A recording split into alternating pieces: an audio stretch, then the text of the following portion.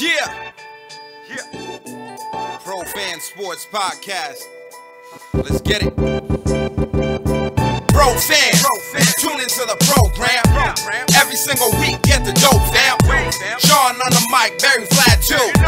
Keep you updated, that's what we do. Pro fans, tune into the program. Pro fans, tune into the program. Pro fans, tune into the program. Every single week, get the dope fam. Yo, yo, yo, what it do, everybody? It's your boy John Altidore with Pro Fan Sports Podcast, where the fans of the pros go back at you with another one my boys, Vlad and Barry. What's good, fellas? What's up? What's up? What's up? Hey guys, we're here. Uh, uh, excited as always for another great show that we have for y'all. So uh, we're on to episode 47. Three more till 50. We're almost at the big 5 0. Episode 47.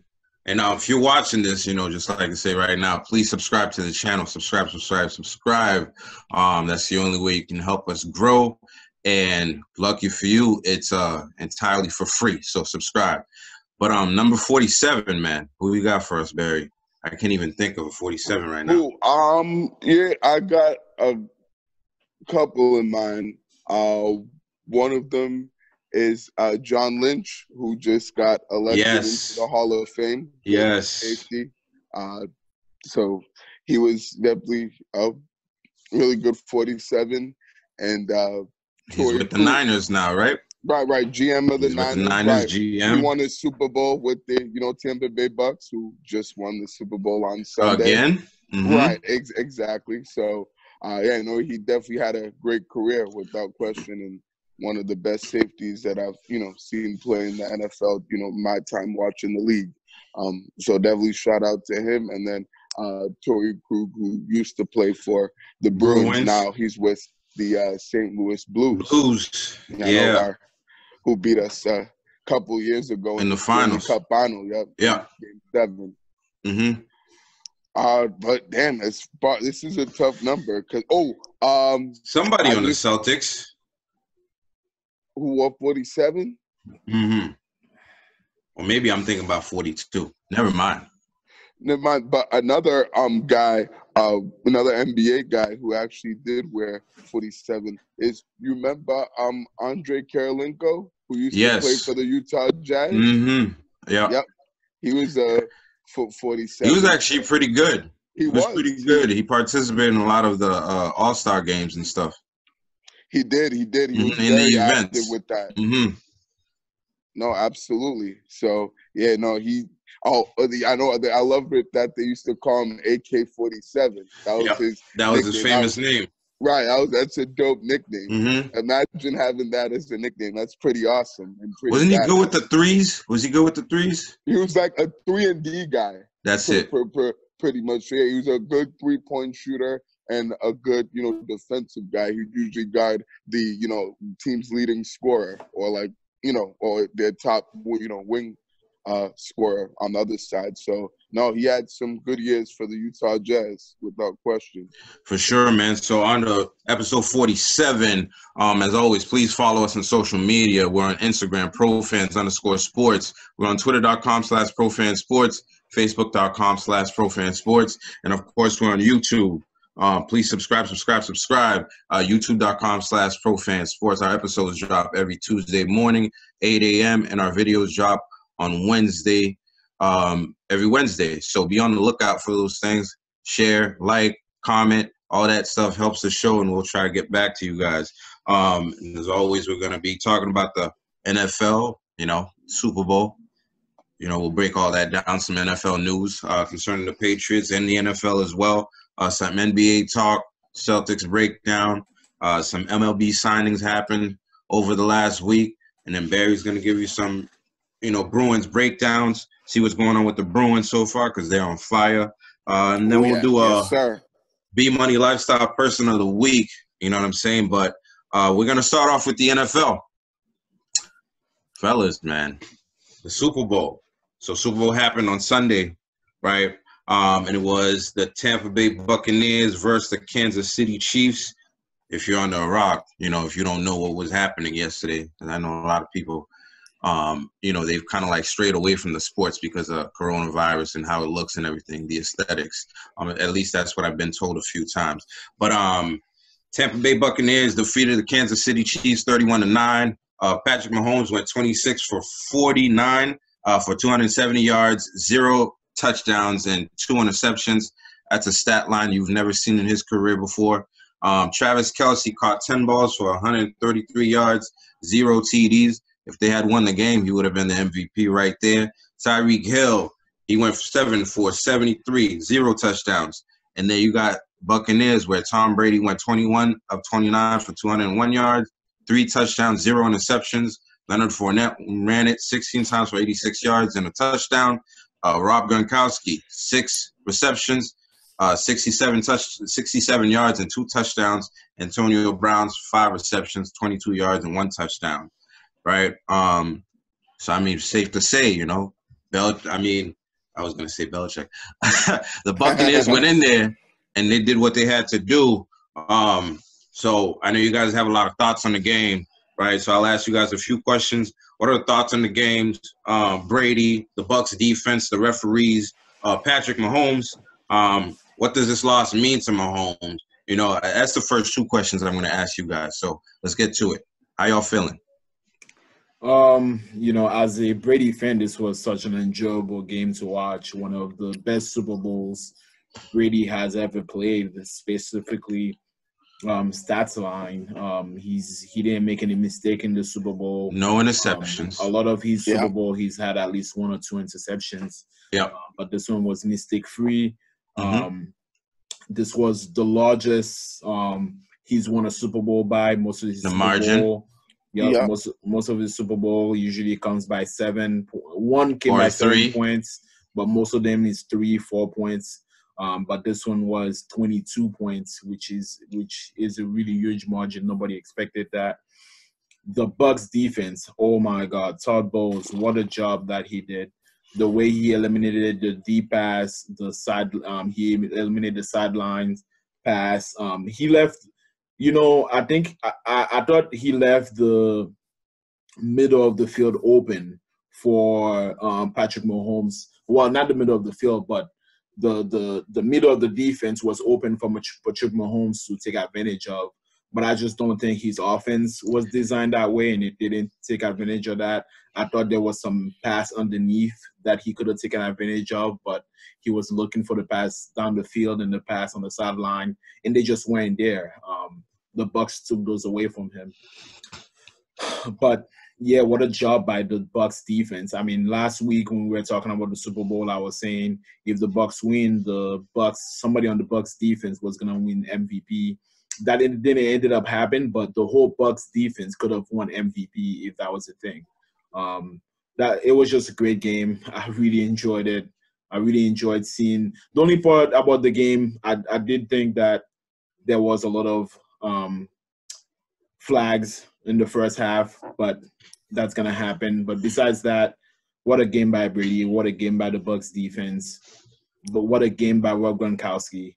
Three guys that were on the on the Patriots a couple years ago are the three guys that scored for the Bucks. What a shame Mhm. for the Patriots. Yeah, no, without a question. You know, definitely bring up some good points there. I thought um, certainly this was a dominating performance by the Tampa Bay Buccaneers from start to finish. They had complete control of this game, uh, pretty much on both sides of the ball, on offense and defense. Uh, think, you know, offensively they did a really good job of running the football, getting their running game going. Uh, you know, Leonard Fournette, you know, had a good game as you were just uh, saying his stat line.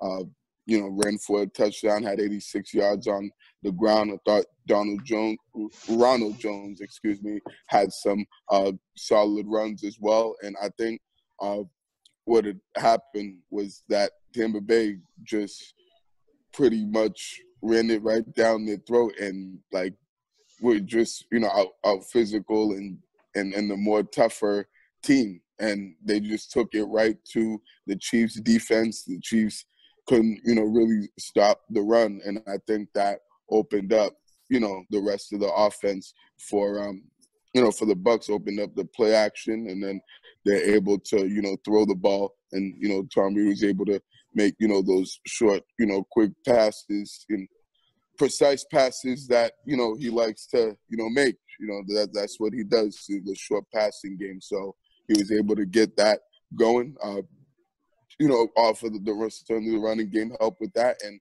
I thought once you know that that happened the Chiefs defense had no answer for what the Bucks offense was you know was running and throwing at them.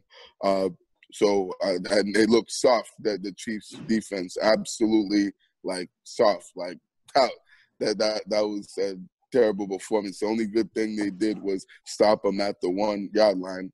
Uh, you know, and really that was and they punted twice the first two drives. But other than that, that was they couldn't stop the Bucks offense and Quigan, they just moved. Well, they, they did right that. the field. They did that. Did nothing with the ball, and the Bucks scored on their ass again. That's true. Exactly. Facts. They didn't couldn't even, you know, take advantage of uh of that of stopping them, you know, at, at the goal line and not letting them get in. So it really didn't mean anything in the grand scheme of things. So definitely this was a really good performance by Tom Brady, very efficient.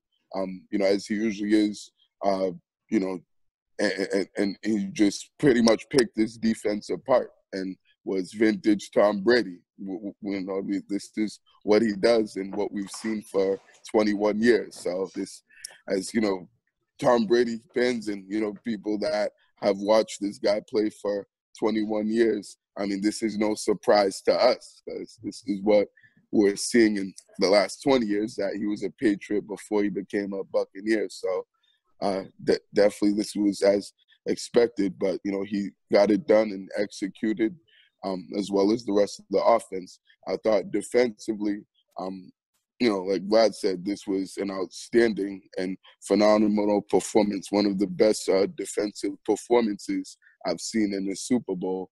Um, I think the only one that'd be better is the Patriots from a couple years ago when they held the Rams to three points and they had a um, outstanding performance. It's the best defensive Super Bowl I've ever seen. Exactly. No, on both sides, man. Right, right, right. Because the Rams defense was pretty. They, good. It was. It uh, was bad. Oh Seattle, yeah. Seattle against Denver was a good one as well. Yeah, yeah, but but the, they they but that was they they killed game, they killed right, the, right. the, you know they killed the so Broncos. was this game? No, no, no, no. We're talking about the 2018 Super Bowl with yeah, the Rams versus. Well, Barry mentioned, you know, that was a good performance defensively. I'm just saying. No, I'm saying like that game was one of the best defensive Super Bowls I've ever seen. Like, I know, I know what you're Seattle saying. Seattle and the Broncos, they had a good defense, but not in that game. No, I know what you're saying. I'm just saying Seattle against the Bronx the offense, the it, Broncos it, it should have been. That was a really oh, good performance by them. Yeah, yeah. No, no, no. Without question, Vlad, I'm definitely with you on that. Uh, that was an impressive performance as well, like the one that we saw from the Bucks on a Sunday. But yeah, man, they like legit uh, put out the blueprint and executed it perfectly on how you stop the Kansas City Chiefs offense. They doubled Tyreek Hill. Um, you know, they only rushed three or four. They didn't even pressure. Um, I think the Patriots they, they, had they, that they, they, didn't even blitz, but they put they got pressure on Mahomes. They had 29 pressures, which was an Super Bowl uh, record record for most pressures, and um, you know exactly in the play in the Super Bowl game, and they didn't really have to blitz, and they were playing man coverage on everybody else, and were you know physical with you know everyone else, including Travis Kelce, and they shadowed Tyreek Hill too. So I know they tried to put him in motion uh, you know, for yep. some of their formations. But everywhere he went, they always had at least one or two guys that were like right there, so he couldn't really, um, you know, get an advantage. Uh, you know, if being in motion on any formation. So they pretty much just shut that down. The defensive line played great. Uh, the linebackers played great. Devin White, man, that, that guy's a beast. Like I think he honestly um, you know, could have been the MVP and no one would have complained if they named Barrett, him MVP. Barrett. And and Barrett too. Barrett Shaq Barrett was was Shaq Barrett, man. Well, my goodness, that dude yo, monster. He was all over the field, all over. And, and Ndamukong Suh collapsing everything. Ndamukong Suh, JPP, all those boys did their thing and balled JPP was inside the line. He wasn't even on the outside. They they they put yeah. him inside. Right, exactly. No, which was it's a little wrinkle right there. Right, right. So, and shout out to Todd Bowles for doing that. Well, like, they, they they put him outside on that on that first drive, and um they had um they had Kelce and somebody else double him, mm-hmm. and then they moved him inside where he did most of his destruction. Right, right. No, so certainly that's a good point, but I felt like they, they definitely exposed the you know Kansas City you know Chiefs you know uh, offense and pretty much showed everybody exactly how you stop them. And uh, certainly Todd Bowles did a great job of putting that game plan together, which was couldn't have been executed better by that defense. And then another point I wanted to mention is that they were able to expose um, the Chiefs' offensive line since, like we said, their two starting um, two offensive starting. tackles, you know, were out and missed the game due to injuries, and you know that was pretty um, evident because you know those tackles couldn't have played any worse than they did on on Sunday. They you know were uh, getting beat on almost every play, and uh, you know, and and the pocket was collapsing every time Mahomes dropped back. It seemed like so like he was running for his life literally the whole game. Uh, and I saw a stat that said he ran for like almost five 450 yards, yards man. Four, I think it was 497 yards. 95, 495. 95, right, right, right. No, the, you're right, John. Thank you on that. So yeah, just to avoid the you know you know the you know brushers that were coming at uh you know at him all, all night. So they were all over him. I think he saw them in his in his nightmares. So I mean, this was certainly uh you know, a, a, great performance by the Bucks all around. Uh, you know, they deserved to to win this Super Bowl and to be, you know, Super Bowl champs because uh, there was definitely the, you know, much better team, uh, you know, from the two on on Sunday, and they certainly outplayed them in every way, shape, or form. So definitely shout out to the Tampa Bay Bucks on being the Super Bowl champions. Yeah, first of all, I'm I'm eighty dollars richer today. Um, nice, um, nice. You know, that bet ended up working really well for you. Yeah, yes, what's up. It did. It did. Congrats. You know, um, I mean, I took that bet, you know, solely because I don't. I really don't like the comparison between Mahomes and Brady and how they had like the baby goat and the, you know what I'm saying? I'm like, I, right, I don't right. like that at all. I'm like, right. maybe, now let me when, ask you this quick question. Was that the easiest eighty dollars you've ever made? Ever, ever. Hands down. I didn't have money. to do anything. I didn't have right, to do anything. Right, All, they they kept talking trash. You know, Mahomes this, Mahomes that. I'm like, there's a guy. coworkers? No, no, no. Actually, um, I have a discussion on Clubhouse. If you're on Clubhouse, um, you know, you can follow me at Splizzy Fresh uh, every Wednesday. So I was having a discussions on, on Clubhouse, and a couple mm-hmm. guys down south came on, and you know, they was talking big shit you know what I'm saying? Wow. Big shit, you know. Yeah, they oh, were really talking this Brady shit. this, Brady that, Patrick Mahomes. Yo, he's the best I've ever seen. I'm like, are you like, is this a joke? You know, like where have they um, been the last 20 years? Exactly. What have they been listen, watching the last 20 years? ESPN. They've been watching ESPN. You know, they clearly that's all they clearly. watch. Apparently, you know. I can um, see. I can tell. Yeah. So you know, I took the bets. You know, I, I betted one guy 50 and then betted another guy. It was a friendly bet. It wasn't anything crazy. Um, one of them still owes me money. So if you're watching this, I want my money. All right. um, but you, you know, yeah. So I, I put money on Brady, of course. Um, you know, I'm not a Buccaneers fan or anything like that, but you know, I'm a Brady fan. So hey, put money on Brady. I mean, you can't go wrong on Brady. You know what I'm saying? Even if you do go wrong, it's not gonna be like by an egregious amount. You're never gonna lose so much because you know Brady was terrible in the big game. It's always gonna be by like maybe three points. Right, you know what I'm saying? You know, exactly. by by one possession. So um, I feel like it's the safest bet you can make. But yesterday's game, man, it was just a perfect game, you know, for Tampa Bay. Maybe not perfect because they didn't get that goal line rush, which I thought they should have given the ball to uh Fournette instead of I agree. instead Absolutely. of um Jones Uh, there. Jones, I'm like, what? Ronald Jones. Right, right. They had the wrong, you know, running back on the right. field. I'm like, why wouldn't you put him in there? the game too? Um, Exactly. He's a better short yardage rusher. He's a stronger guy. You know what I'm saying? Exactly. Right. And I More saw- physical running back. Exactly.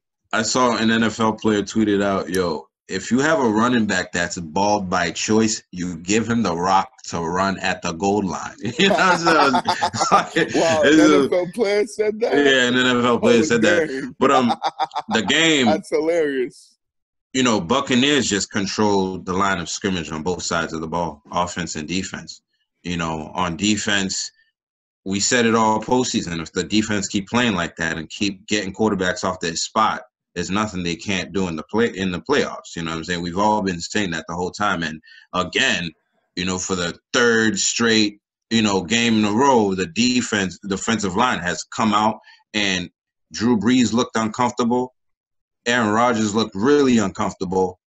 Patrick Mahomes looked even more uncomfortable. You know what I'm saying? three, Like, three, three of the three- best quarterbacks that listen. the league has ever seen. Three Yeah. MVP quarterbacks, all right? And three guys that you could say are first ballot Hall of Fame right now. That defensive line took all of them. You know, Yeah. the the Chiefs offensive line looked like the Patriots offensive line in 2007 against the Giants. Cuz Patrick Absolutely. Mahomes, man, he was running for his life, man. You know, All and night long. All night. you can't even put all the blame on him because even if even though he was running for his life, he made some incredible throws that were not caught by his players. They did not help him at all. You know, there Right. was drop balls, two drop seriously. balls in the end zone. You know what I'm saying? Two drop balls in the end zone. Right, right. You know, that should have been touchdowns. what I what I saw was um I saw one team that adjusted and then one team that was good with what they were. You know what I'm saying? Because week 12, the Chiefs played the Buccaneers and they handled them, right? They went up big and Tom Brady, you know, they started coming back with the play action. All right. So the Bucks didn't lose any other games after that. They went into the No, bye. Well, not. neither team lost games after that. Right, right. But the Bucks themselves, they did not lose a game after they lost to, you know, the To the Kansas City Chiefs. on week 12. And- yeah. The game, if you're gonna play a playoff, it's a game of adjustments, right? And it looked Mhm. like Buccaneers made all the adjustments.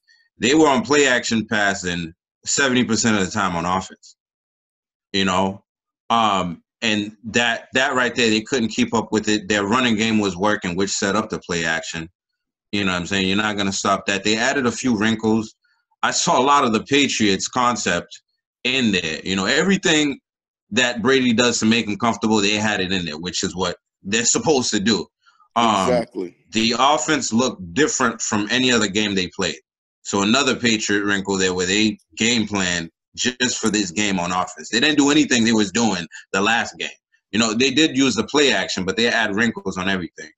You know what I'm saying? The defense, the defense was great on all on all three levels. Right? You got the line cornerbacks and say you got the line linebackers and and the the backs. They all performed you know, to the best of their abilities, right? Um, they were on cover two the whole game. In cover two the whole game.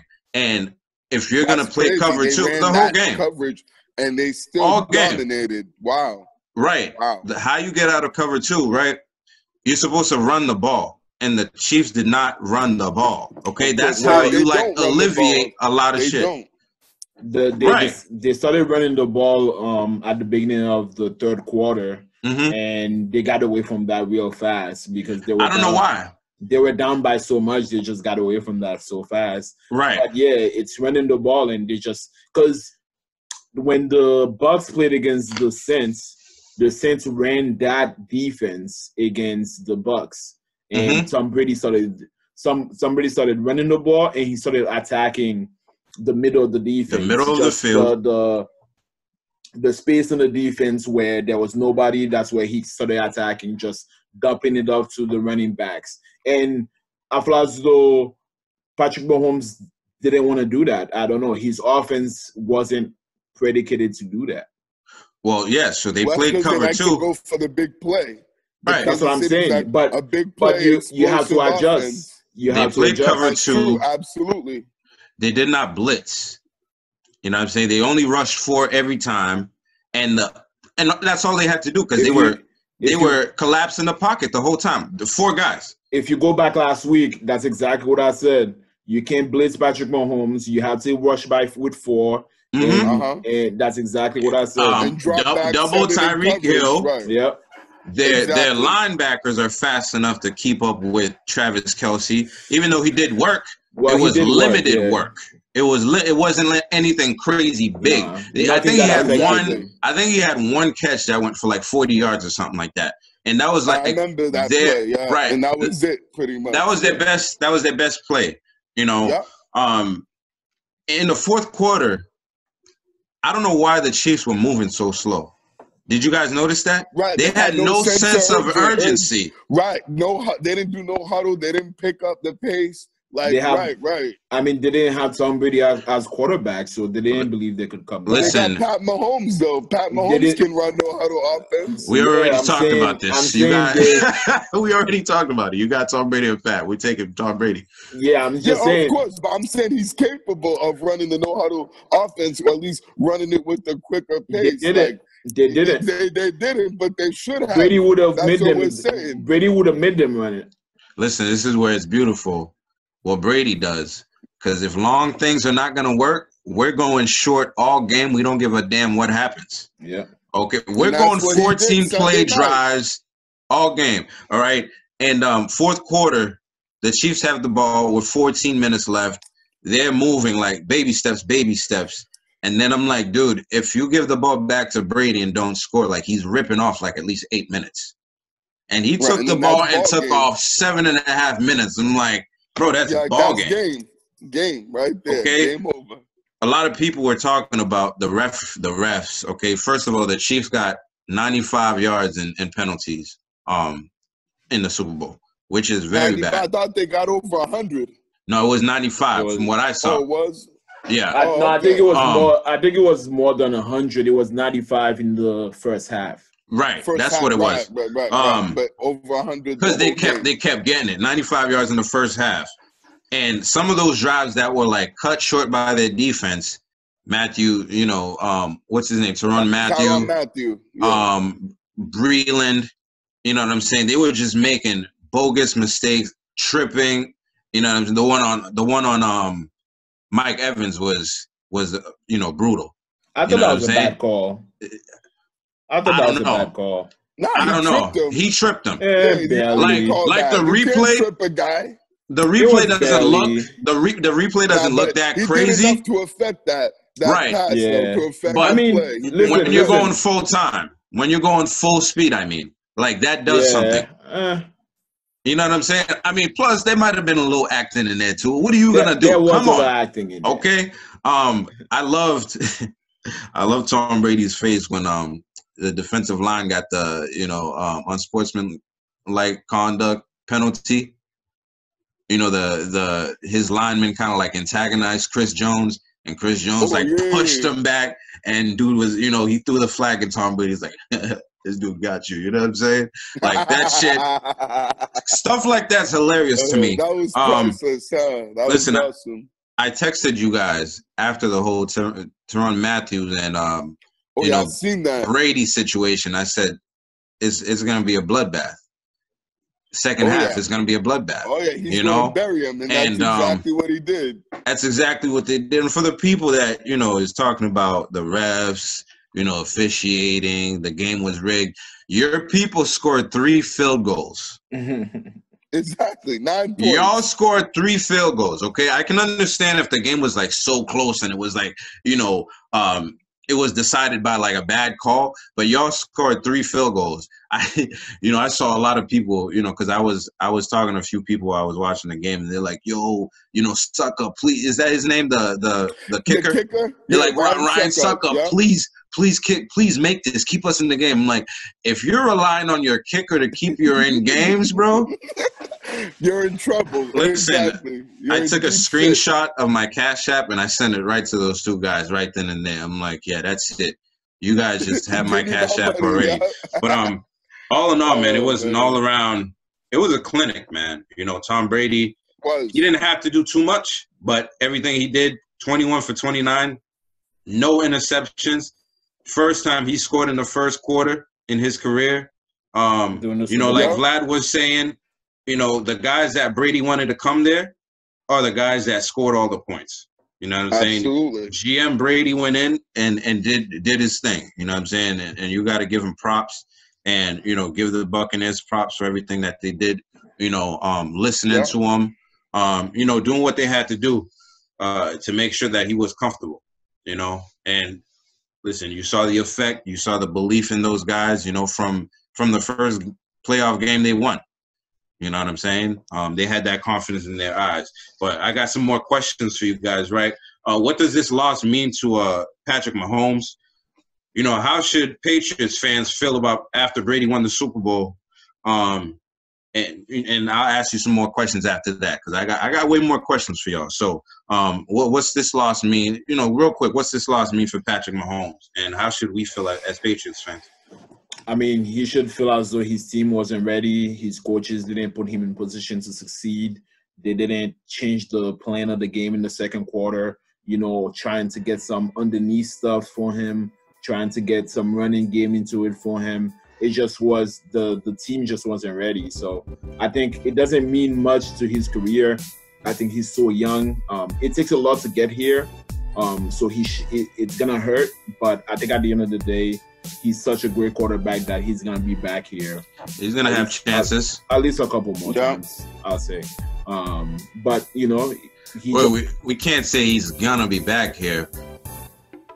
I'm saying I think he's gonna be back a couple more times. Right, right. No, I'm saying we can't say he will be back. Hopefully he does, because you know, Yeah, but this in thing's my, not in my opinion, in my opinion, I think he'll be back a couple more times. He's he's just too good of a quarterback to not be back. Um, but I think I think um, he just cannot afford to have what happened to him happen again.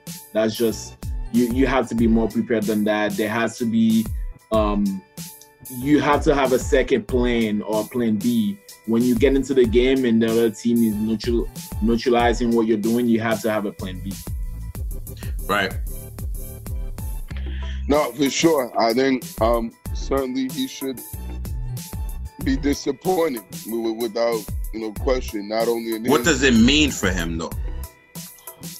Uh, I mean, I don't think it means that much. Well, it means that he won't be the GOAT, that he won't surpass Tom Brady. Like, let's That's a just answer. square that away and get that, you know, out there and clear the air on that. Ma- Make sure that we make that there. as crystal clear to everybody that's listening to Pro Fan Sports Podcast that Patrick Mahomes will never surpass Tom Brady and be the GOAT in the NFL th- for the rest of his career. Like he's not gonna get seven Super Bowl championships like Tom Brady just got um his seventh on Sunday. Like that's just not gonna happen. That's exactly what that means. So just wanted to make that as clear as I possibly could to everybody because I'm tired of hearing this talk of uh, Pat Mahomes already being, uh, you know,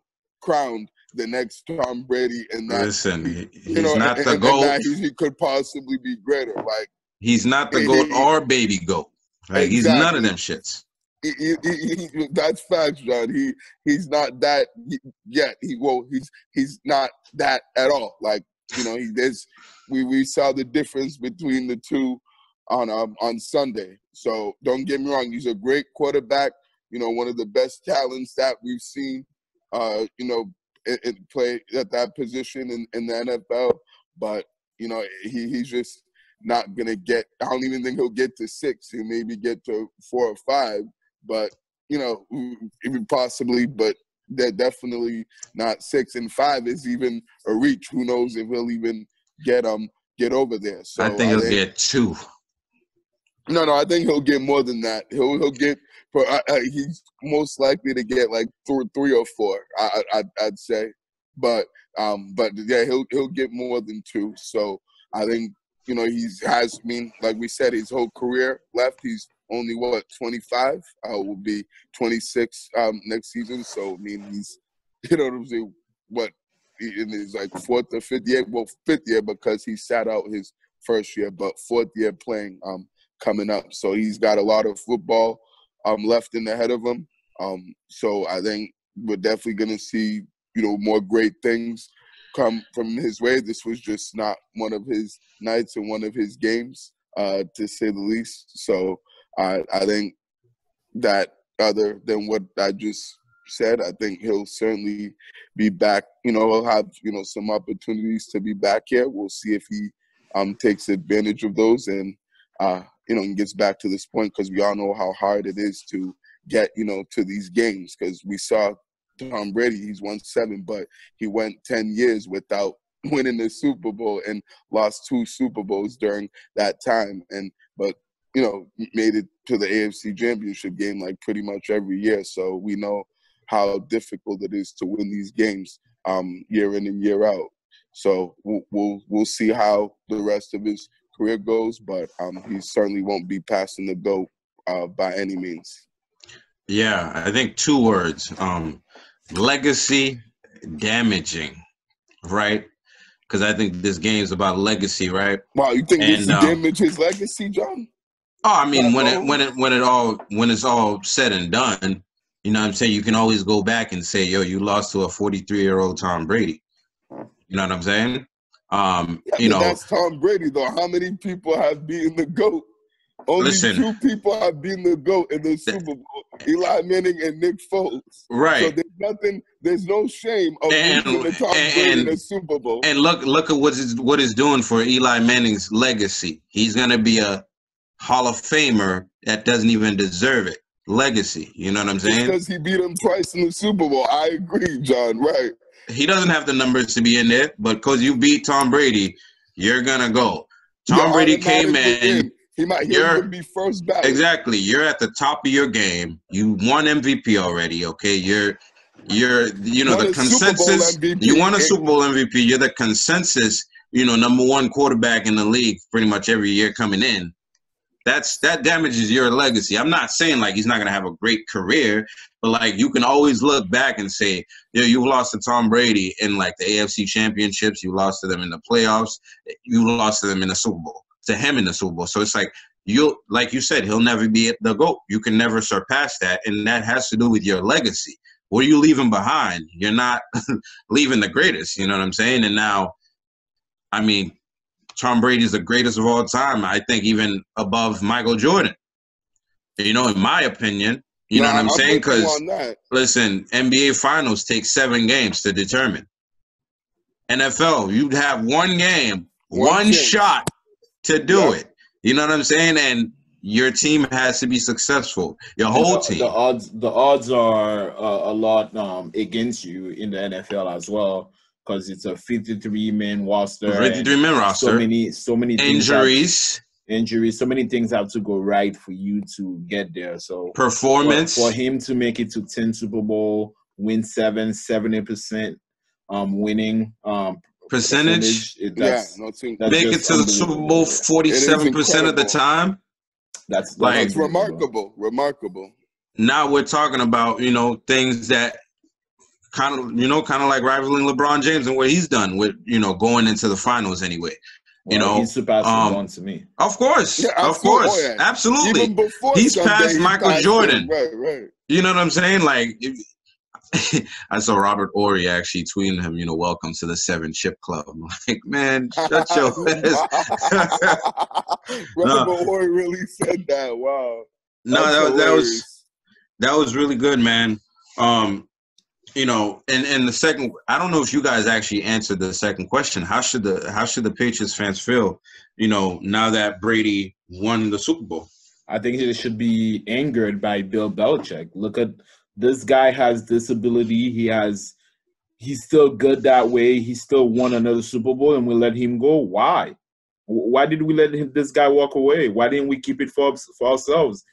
He was with us for 20 years. It would have been a beautiful story if he retired with us. And now he's writing another story with um, somebody else. when He's gonna all- retire with us. when when all we had to do was give him a, a contract. Come on now, that's as a Patriots fan. I feel I feel gypped. I feel like Belichick didn't do his best um, for the team. He he left us high and dry. Yeah, no, I'm certainly with you on that, um, Vlad. I feel, you know, as a Patriots fan, you know, I'm happy with Tom Brady. Be- before you start, question. Barry, but uh, also as a Patriots fan, I'm excited for Tom Brady. I'm so proud of him. Unbelievable. He shows you that throughout the 20 years that he dedicated to us, what he was in those 20 years, that's exactly who he is. He's a winner after all.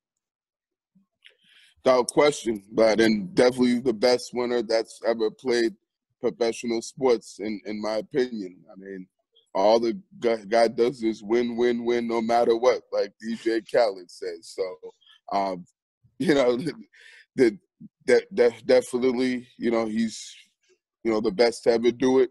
Uh, but as far as how Patriots feel should be about it, they should be pissed off at, at Bill Belichick. And Vlad, I know you were saying that, oh, why did they, you know, let him go? And you know, when they clearly shouldn't. It was because of ego and arrogance. He, you know, they let he Bill Belichick let his ego and arrogance get in the way, let his feelings get, you know, get in the way.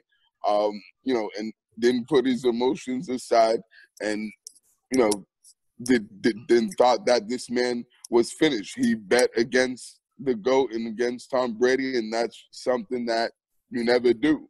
So people should, you know what I'm saying, be right, be upset and be furious at you know at Bill Belichick. And I've been and I'm still pissed off at him too. And it's gonna take me a while to get over that unless he was able to rebuild this thing and get the Patriots back to being a winning uh, team, which may take a little while, but um, you know it's certainly you know extremely hard to get over how you don't even like make an effort to bring this guy back, and then the first year he goes to another team and wins the Super Bowl when he wanted to stay all along, and all you had to do was give him a reasonable contract, get reasonable like you know two year deal or something, not even top market value, like the middle of the market, like he's been making his whole career, and he would have been more than happy, you know, with that, and would have stayed here and retired a Patriot, and who knows, maybe won another Super Bowl or two. You know what I'm saying? Uh, depending on how, uh, you know. In, on how you know things would have gone, but they would have at least had a much better chance to compete uh, you think? Do you think? Um, championships. do you think Brady would come to practices if they gave him a contract? Yes, he Well, they if they come to OTAs. Yeah, yeah. You think he would I- I start think coming would back probably- to OTAs since? if they were if giving if they give him when they traded when they traded Jimmy Garoppolo in 20, 2017 2017 2018 whenever that was when they traded Jimmy Garoppolo if they gave Brady a five year contract he would have been a dedicated patriot professional as he always was I mean, he did stop coming to OTAs for a few years. and because because they weren't treat they were treating him like shit like he won he won two Super Bowl and they were treating him like I, but the were treating question like- was, do you think he wouldn't Like, show up not there. to OTAs I'm saying yes. if they gave him that the contract? five year contract, yes, he would have said he would have came to OTAs. or if they gave him a contract that yeah, he would have been happy with, didn't necessarily have to be five years, but something that you know he would have been okay with, then yeah, so certainly, um, you know, he would have been at OTAs and working with those younger receivers, like you know, Bel- Belichick wanted him to. But like One year- said, the reason why he didn't do that was because he wasn't happy and he was, you know, pissed off and felt One of, you know, disrespected and unappreciated. So he was like, you know what? I'm not even gonna be there for the, you know, OTAs because those are voluntary practices. Those One of those years- practices. one of those years, Belichick made him earn his his incentives. Like Bel, I think he was making 15 million, and then Belichick added a five million incentive or something like that. Like, 20. Yeah, I like it was like too. you were you were treating him like a rookie or something, like somebody that hasn't won you five Super Bowls. Like, come on, bro. Right, right. You just treat him like any other like player, and like like he's just another quarterback. You know what I'm saying on on you know on, on the team or in the league, which he's clearly not. Um, as you know, He's we've seen in the last twenty years. Brady. Right, exactly. Like put some respect on his name.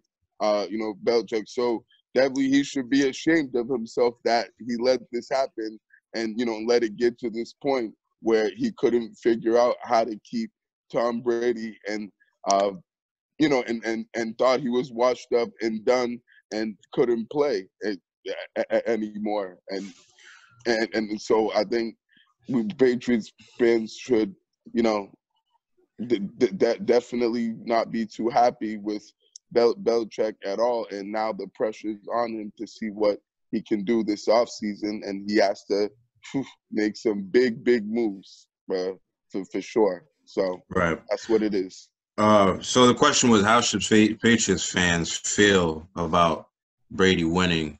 Um, so the Super Bowl on Sunday was actually the second most watched Super Bowl um, in the New England area after the 2014 Super Bowl. So, I mean, if I'm think, I mean, I guess they should be happy because y'all saw Brady win.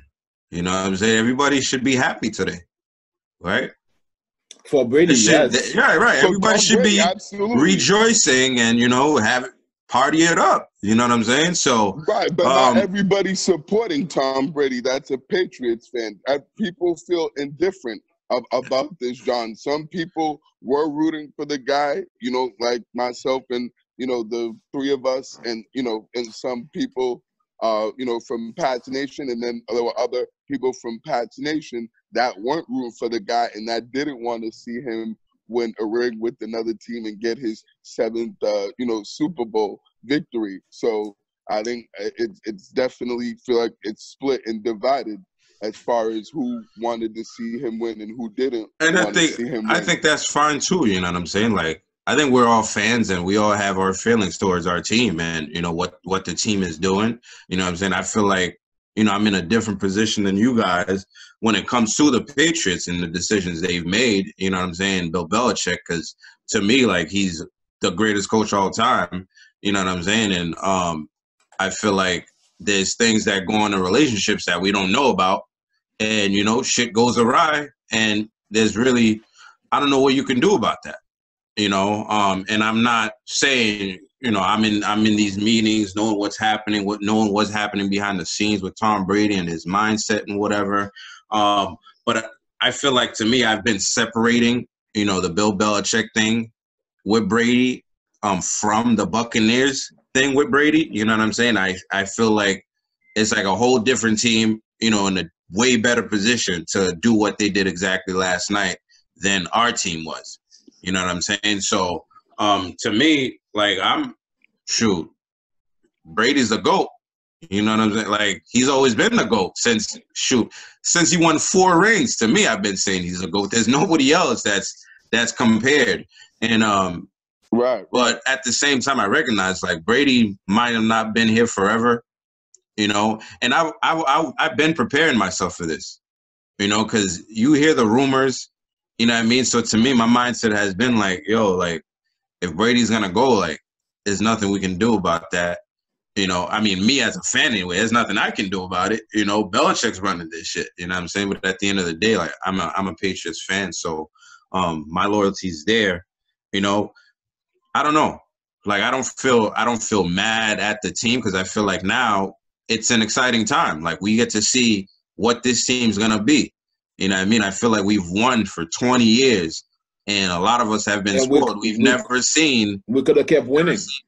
exactly. We could have Re- kept this right. going. We could have Right. we could have we could have been in this situation when Brady decided to retire. Let Brady Right. retire and then we can be in this situation. we could have kept winning, but I don't I don't know if a Super Bowl was guaranteed, but I know we would have Yeah, been guaranteed if- going into the playoffs.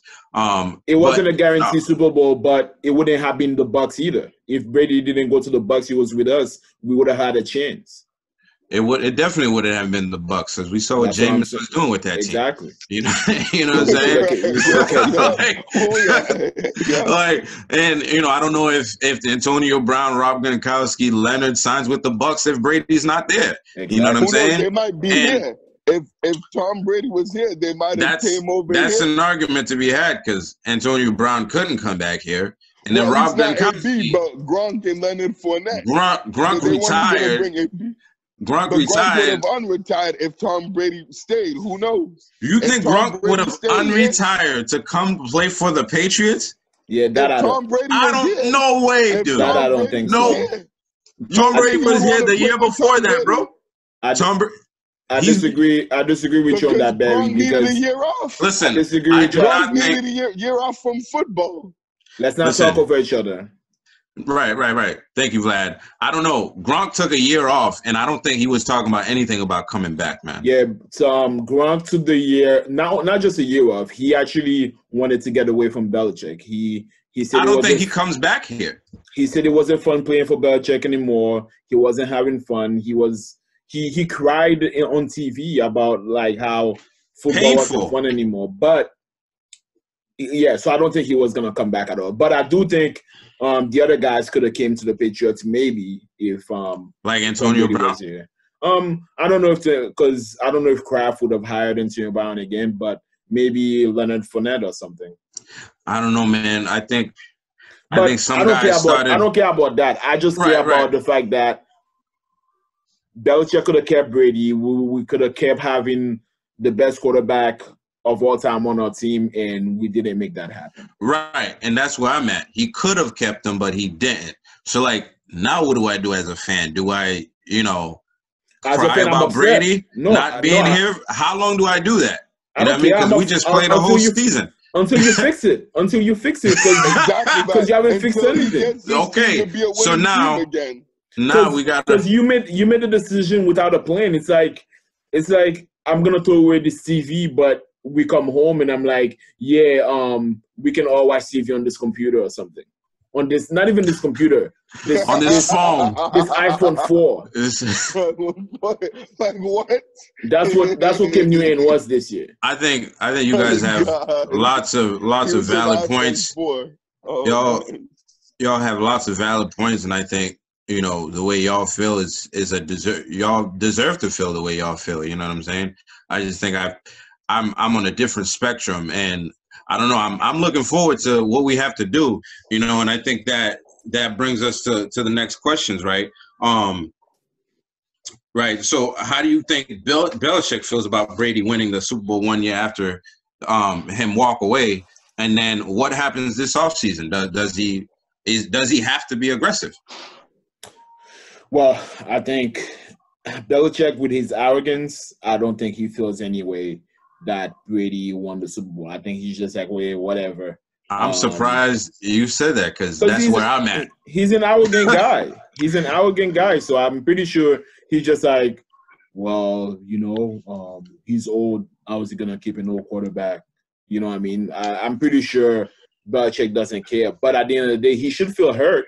He should feel as though he fucked up that he let the best quarterback go.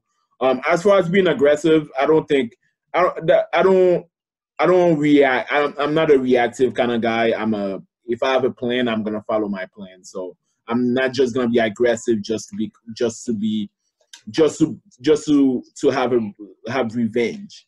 I'm not uh, revengeful is not the way I um operate. So I do think I do think he has to put a good roster together, and he has to be he has to have a winning season because we are the New England Patriots. Why we we we don't accept mediocrity, so we should have a good roster.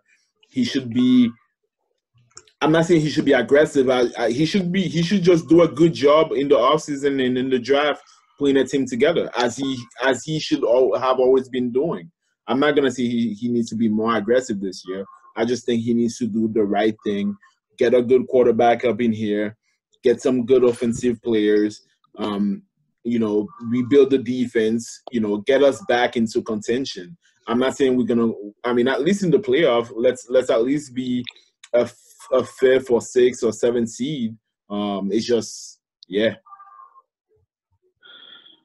Yeah, I mean, I think he should definitely feel some kind of way about you know TB12 going, and you know should definitely feel more pressure about you know going into this you know off season.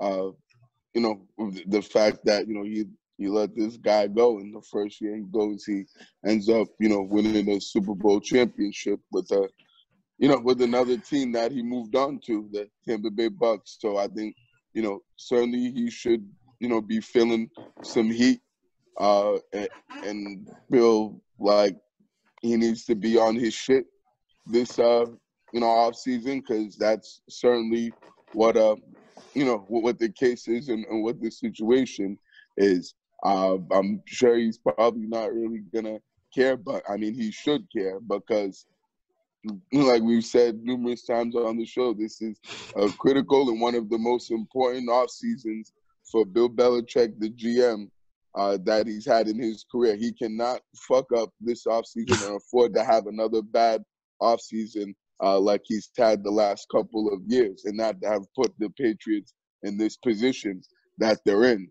So uh, yeah, no, he certainly has to be more aggressive. I don't want to see him just uh, do what he does normally, let teams make their moves on the first um, days of free agency, pick up all the top free agents, and then pick up the scraps in the left. Can afford it. Uh, you know, afterwards when all the top guys are gone and already signed on other teams, I want to see him active and aggressive and uh, you know, for right right from the go. You you should as soon as free agency starts March 17th, uh, or when even when the tampering uh, period begins. I think a couple of days before that, you know, they you know the tampering period begins. I want to see you know rumors buzzing that the Patriots are being active and going after these you know top free agents and bringing in uh, you know the talent that they need to um, you know, on this roster because, and I've been hearing from my sources that um, Barry sources. Brady, yeah, yeah, I, I got sources that if Brady won this Super Bowl, which he did, that um that Belichick was even going to mm-hmm. be more aggressive, and Kraft was even going to push him to be more aggressive he just dropped a B money bomb, a B money bomb. You know, like B the Woj bomb. bomb. Yeah, yeah, I like that. B money bomb. Yes, sir. A yes, B sir. bomb. a BB. That's right. right. so I like that. There you go, John. So that that should be a B bomb. Then we should have a like sound of a bomb, like go boom yeah. Uh, anytime I drop, every time you drop one, drop an yeah, acoustic bomb. Yes, yes, that that would be awesome. We definitely need to work on that sound effect, and we'll have that soon for y'all. So stay tuned. But yeah, just wanted to finish up saying that um he, you know, certainly has to do a good job as a GM. Yeah, not only free agency but in the draft. He can't afford to have another poor draft like you know he's had uh, you know, the last couple of years that have really set him back and, you know, to where, to where he's pretty much starting from scratch and doesn't have anything to, you know, to build around. Because uh, I get that they're having a couple of veterans, you know, come back of, from, you know, opting out, but we don't know how they're to look like because they're a year older and they're getting up there in age. So we don't really know uh, you know how they're gonna play when they when they get back. So he certainly has to, you know, be, you know have a great off season and be one of the top teams that um, are making the most moves. And and, and I want to see some big time moves, some splashes uh, th- this off season. Um, but by him, I think that's what he has to do, and he has no choice. Yeah, uh, I mean, for me, what Bill Belichick should feel is some sense of regret, you know, for letting Brady go. You know what I'm saying? I understand, like in relationships, there are things that happen, you know, but you're in a marriage and it's till death do us part. You should have did more. You know what I'm saying? From on that front, I completely agree. You know, on another front, if somebody chooses to leave, then that's on them too. You know, um, I think he should feel some regret. But like Vlad was saying, I think this dude's so arrogant, his e- ego so big, he's not gonna let himself feel those that way. You know what I'm saying? I think for him, he's just like huh, on to next year. You know what I'm saying? Well, on to Um, 2021, yeah. and I'm I'm kind of excited for Bill, you know, because I feel like this is this is he's in a position where now B- Belichick, you're gonna have to prove yourself again, right? For people because the guy posi- he was in a position to prove himself this year. this year, but I feel like there was a lot of circumstances this year. You could say like, yo, there's so much that went against them, like Like you what? know. Uh, COVID, you know, all the Yeah, opt outs and, and the free right, and the free right. agents that left. You know what I'm saying? Um, I think I can. I think those those those those are things you could say logically. You know, what I mean that plagued the team. You know, um, but like moving on now, it's like, bro, Brady just one upped you, bro. Now the pressure's on, like Barry was saying. You know, Yeah. I'm I'm pretty excited to see because like we know Belichick is a master motivator, and when he's the underdog, we know what he does. You know what I'm saying? So I think now that he's gonna have a full off season to do what he does, I don't know how aggressive he'll be, but I think he'll be methodical as usual. You know, I think I don't want to see that though. Right. Without- I mean he's been methodical for this whole time. You know, that's not gonna coaching coaching the Patriots. I know that. I know that. Um, but like you said, your sources have said that they will be aggressive, right? And I think you have to be methodically aggressive, you know, because you can't start signing everybody because we've seen that before, and that doesn't always work. You got to bring in the right pieces methodically, you know, to put this thing back together, you know. And there's some guys that are going to come back from opting out, you know, so we know the team's going to be a little better already on paper starting next year. Now it's who you're going to give the, the key to the engine, right? That that's the main thing. Like Mhm. You need something something serviceable, whether it's the draft, whether whatever. I think definitely the draft. You need to address, you know, your quarterback position. Period. Um, but we know Belichick. What we want him to do is usually what he doesn't do. So um, I'm definitely curious to see what he does. Um, yeah, but he's got to draft a guy this year. You can't go two You have years in a row without not drafting listen, a quarterback. Right. I say you should even like try to move up to get a guy, man. You know, I'd be happy um, with that. I'd don't like even- see that. don't even risk, you know, not getting one um at, at 15. Just do make a move, man. You have to make a move. And like you said, you have to be aggressive in some ways. But like Vlad said, I don't think you you should go outside of yourself because that's where you start fucking up. Yeah. You know what I mean? When you start trying fair. to do That's a fair point. when you start trying to do too much, that's when you start fucking up. You know what I mean? And I Mhm. think, I mean, I don't think we can think of any other coach that would come in and, and turn this thing around. You know what I mean? Like in one year. So um, if anybody's gonna do it, it's gonna have to be Belichick. You know, with that resume, what you've been doing, like, hey, you're up, man. You know, Brady went up, hit it out the park. It's your year, my boy. You know what I'm saying? You notice nobody opted out on the Buccaneers. Because they Nah, had Tom Brady. Because because they have Tom Brady. Brady. If so we like, had Tom exactly. Brady, you think so many to, to opt outs, I don't I don't think know. so.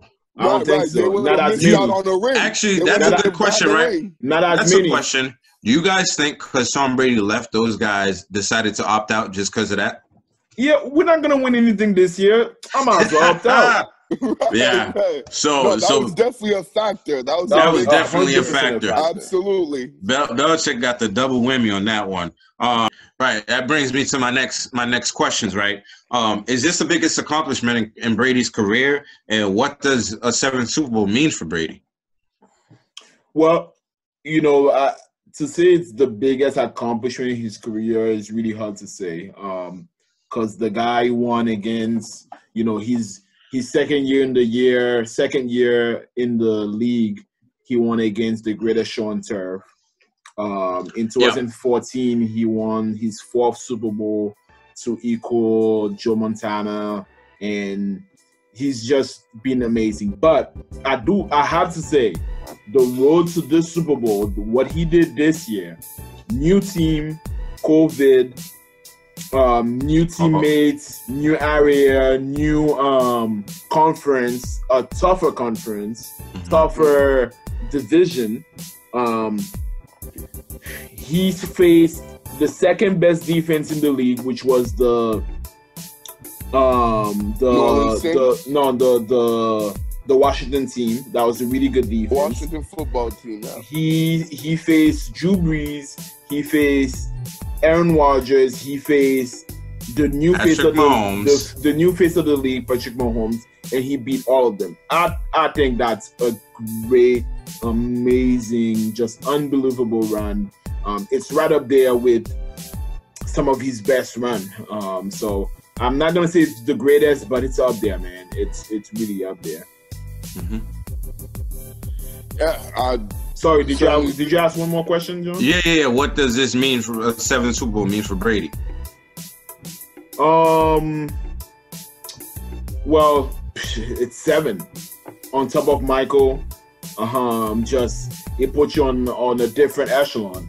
This dude doesn't belong in the Hall of Fame. They they just They need another class. yeah. This dude, this is this is Brady Hall of Fame. Everybody else, you know what I mean? Just yeah, this dude, man. I mean, I think for him, there should be like the Super Bowl MVP should be named after him, and I think um, he should. I, he doesn't have to. He, he he doesn't have to. He shouldn't have to wait five years to get into the Hall of Fame.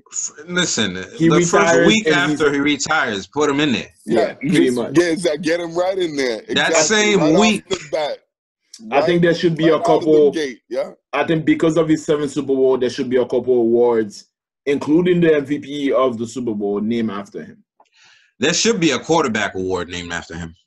No, absolutely. sure. I agree with Because I feel like the quarterback award has been taken over by like the MVP, which I feel like is not is not fair to a lot to a lot of players. That's true. No, that's a good point. Like like sure. a uh, Derrick Henry dude. I'm like, yo, things that guy's doing. Yeah. Right, right. If, You know, if his team doesn't have him, it's it's a problem. Exactly. Right. Right. No, but sure, it's not fair to the rest of the you know guys who don't play a quarterback. Uh, but you know, getting to your question, John, uh, certainly think if whether this is his greatest accomplishment or not. Uh, I mean, I wouldn't say it's the greatest accomplishment, but I think this was the toughest, like led to the toughest road and the toughest path to the Super Bowl that he's, you know, certainly has. This is the best, you know, competition that he's had to play in order to, you know, win a Super Bowl.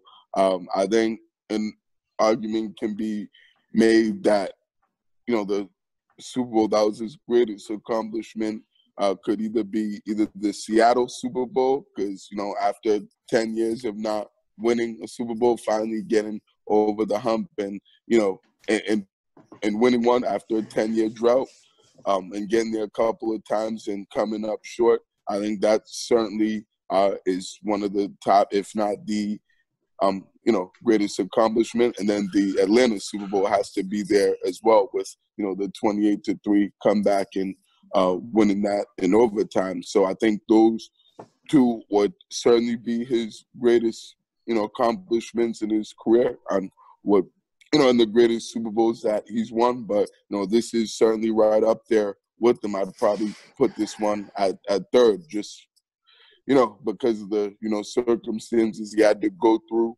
this year, and um, you know, and then also the you know the teams that he's had to face. So um, in order to get there, so this was certainly an impressive um, you know playoff run that they had, and uh, and a super impressive Super Bowl that they played and uh, won.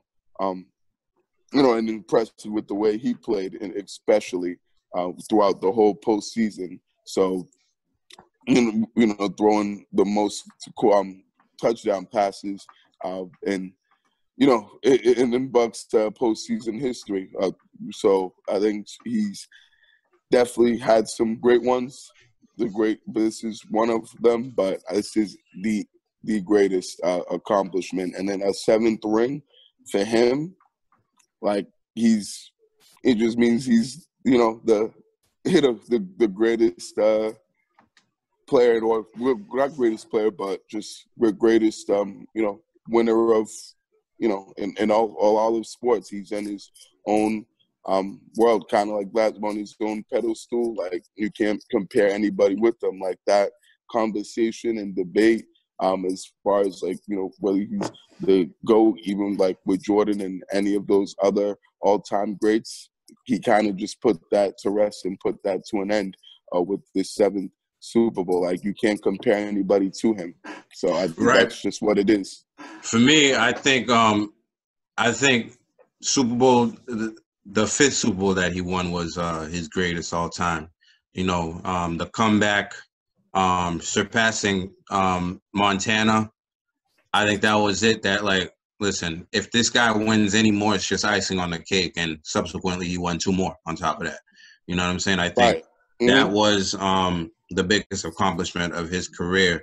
Uh, but I certainly do think like this one is up there too. It's a close second or third um, because this is the first time Tom Brady played in the playoffs in the in the wild card and made it all the way through and won. Yep. You know, this is the first Super Bowl that's been won at home. That's huge. You know what I'm Absolutely. saying? This is the first Super Bowl he didn't throw a, a, a, an interception. There was no no mistakes on his part. So I think it's definitely up there. I think give me give me um you know the Falcons, give me the Seahawks, and then give me this one. I mean, as far as like the top Super Bowls that he's played, and um as far as like what this means, it just means debate is over. Absolutely. He Debate rests his case. Like, debate is over. You know what I'm saying? It's like I, I said this before, you know, on another episode. ESPN, stop with the bullshit polls. Don't talk to me about le- two minutes left in the game. None of that shit. It's it's over. You know, um, there's just there's no argument you can make. You know, I was um watching Vlad TV and Marcellus Wiley is like, yeah, but Peyton Manning's the GOAT. It's like the guy watched the GOAT play last night as he was getting inducted by, in the Hall of Fame, okay? And he used to have battles with that guy. Please tell me, For real. it's crazy. I uh, had my it's biggest- unreal. Peyton Manning had the biggest games of his life against Tom Brady, retired long enough to make it into the Hall of Fame. And the one year he's going to make it, he has to go to a Super Bowl with the guy that pretty much made his career with him. It's like, don't talk to me about any of these guys. You know, Montana, I know he like passive aggressively still says that he's the best. It's like, no, you weren't, man. Like the Nah, guy has bro. records. I think I think he's admitted it now after after the sixth Super Bowl. I think he's He did? Yeah, I think He- he's been he's I admitted thought that it he never after that. did. He like kind of like you know jumped around it like I I, I won four no losses and t- that type of stuff. But it's like Montana man, you're still a you're still a goat, but you're not the goat. You know what I'm saying? It's just step aside, man. You know, um, if he listens to this uh podcast, which I know he doesn't. You don't know that. You don't know that. Maybe exactly. You never know, John. Maybe, So maybe he's just this. browsing. Maybe he's browsing at two a.m. on YouTube, and he's like, "Oh, who's these three idiots?" who, who are these dumbasses? You know, trying to talk sports. You know, but Oh man. you know what? Um, I thought that was a great discussion on on, on the Super Bowl. Uh, I thought, you know, even though my team wasn't in it, that was an enjoyable Super Bowl. Um, you know, I like I usually like the Super Bowls to be a little closer than that. You know, I like the games to be a little more competitive, but I wasn't mad that they they shut the Chiefs up. It's like, please, just shut up. You know what I mean? Mm. Um, you got to earn it. You got to earn it. You know, so let's and the Chiefs to- needed that for sure. They needed a slice of humble pie and to be humbled, like they they were in a nice, uh, you know. They did. whooping. They needed that humble pie for real. A- absolutely. Um, so some some NFL news. Uh, Philadelphia is asking for a trade for Carson Wentz, so they want to trade him. He's on a trading block, and they're asking for like a similar package as uh, Matthew Stafford got, What? which is a two. I know he's not gonna get it. You know that, Barry. Yeah, Um, that's what I'm saying. The hell? which is a two first rounder, um, at least. Which you know, I think they're gonna whoever get it. Whoever Nah, pays for nah. that, whoever pays that, right? that. No, they, they're, they whatever team does that. Is, Listen, they're look out. look out for the Colts and the Bears. Okay, Don't you know? Th- my sources are telling me. Ah, Colts- so you got sources too. you know, I mean, it's only right. It's only right to have Alright. sources. Um, I so the. Bears and the Colts. Um, but I can say whoever pays that much for him, their job is on the line for the rest of that year. Okay, so be careful um, with doing this. You know what I'm saying? Um, and um, a bigger news that came through was um, Andy Reid's son, Britt Reid. Um, he was involved in a car crash on Thursday, February 4th, um, with a car carrying a four and a five year old. The five year old was left with life threatening injuries um, in 2007, which is like, this is the second time Britt Reid has gotten in trouble for similar situations. In 2007, Britt Reid was arrested and pleaded guilty to driving under the influence, and I believe he he actually said that he was under the influence in a in a warrant or something like that. Um, this time around again, and um, you know that that's tragic. I don't know why this dude was allowed to coach in the league, but this is another instance where the the league needs to like watch these things and like you have to put your foot down, man. Yeah, I mean, like if you're if you're here trying to protect your brand, protect the shield, like these are things you cannot allow to happen. Like, how is this guy coaching at the top level with with a record? You feel me? Not saying you know people with a record shouldn't be like trusted with things, but like something like that where you're getting DUIs, you know, I think something should like disqualify you from doing things. Well, he's the, Right. he's, No, I agree. his dad is the boss, Right. so His his dad is the boss, and his dad has a boss as well. We'll be like, Andy, we can't have that. You know, there, there's there's plenty of other coaches. You know, and I think you know for him, he's doing a good thing because it's like, yo, let me give my son a chance. You know what I mean? Like help him make a living. You know what I mean? Like if any dad would do that, but at the same time, it's um it's a tragic thing, and I hope um those kids end up all right because you know, and I hope he ends up getting something because last time he got a slap on the wrist, and this time he went and did something like that again a week, what like during the week of the Super Bowl.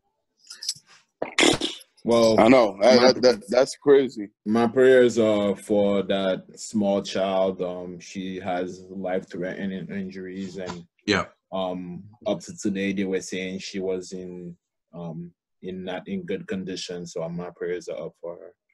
Yeah, man, for yeah, sure. mine as well, for, for for sure. I know I feel bad for Whoever they are, my man. child and, and, and that family, and you know, I hope they're able to, you know, get through this extremely tough time, and hope you know she gets better. Even though I know the circumstances are tough, but you know, hopefully, uh, she'll be able to, you know, get past this and get well soon. That's and yeah, fact, and I agree with you, John, hundred percent. The league has to take these things way more seriously and uh, not just you know overlook them and not really you know do anything about them. Like they have to take more action and be, you know, more disciplined and Proactive. Yeah, right. when- When it comes to you know incidents like this to happen, you know, with coaches or uh, people that work in the league because they represent them. So this looks bad on the league if they're letting guys just you know get away with it and you know without you know punishing them and giving them some uh, you know kind of disciplinary uh, you know action to, towards you know what they had just um, you know done. So you know you got to suffer the consequences when you do things like that, and it's unfortunate that that hasn't happened, but. So hopefully the league, you know, changes that moving forward because they're gonna need to. Right. Again, you know, not saying guys shouldn't get a second chance because you know people make mistakes, but there are certain mistakes like you shouldn't be able to be at certain positions. Um, you know, I know the players get in trouble all the time. You know, um, but at the end of the day, they're they're young men and they're gonna make stupid decisions, and they do. You know, um, Mhm. but there are certain things, like you said, when you're representing the league in certain ways, you shouldn't be able to do certain things. Um, on to some NFL honors and and the Hall of Fame class. So NFL honors was this week as well. So uh, the Art Rooney Sportsmanship Award um, was given to Teddy Bridgewater. So shout outs to him. The Assistant Coach of the Year, uh, uh, Offensive Coordinator from the Bills, Brian da- Dabo, Daboll, Daboll. Daboll, Brian Daboll, yeah. Brian Daboll. Um, Coach of the He Year, used, I play, think. he used to coach for the Patriots. Yeah, he did. Um, and I don't know why this guy didn't get a head coaching job over that that Nick Burley Hurley character um, for the Eagles. So no, not I the Eagles. Who? No, no, for the Texans. For the Texans. Um, coach of the year, uh, I think deservedly so as well. Kevin Stefanski. He's the Cleveland's head coach. Uh, he did a good job this year. Offensive Yeah, player of the definitely year, well-deserved.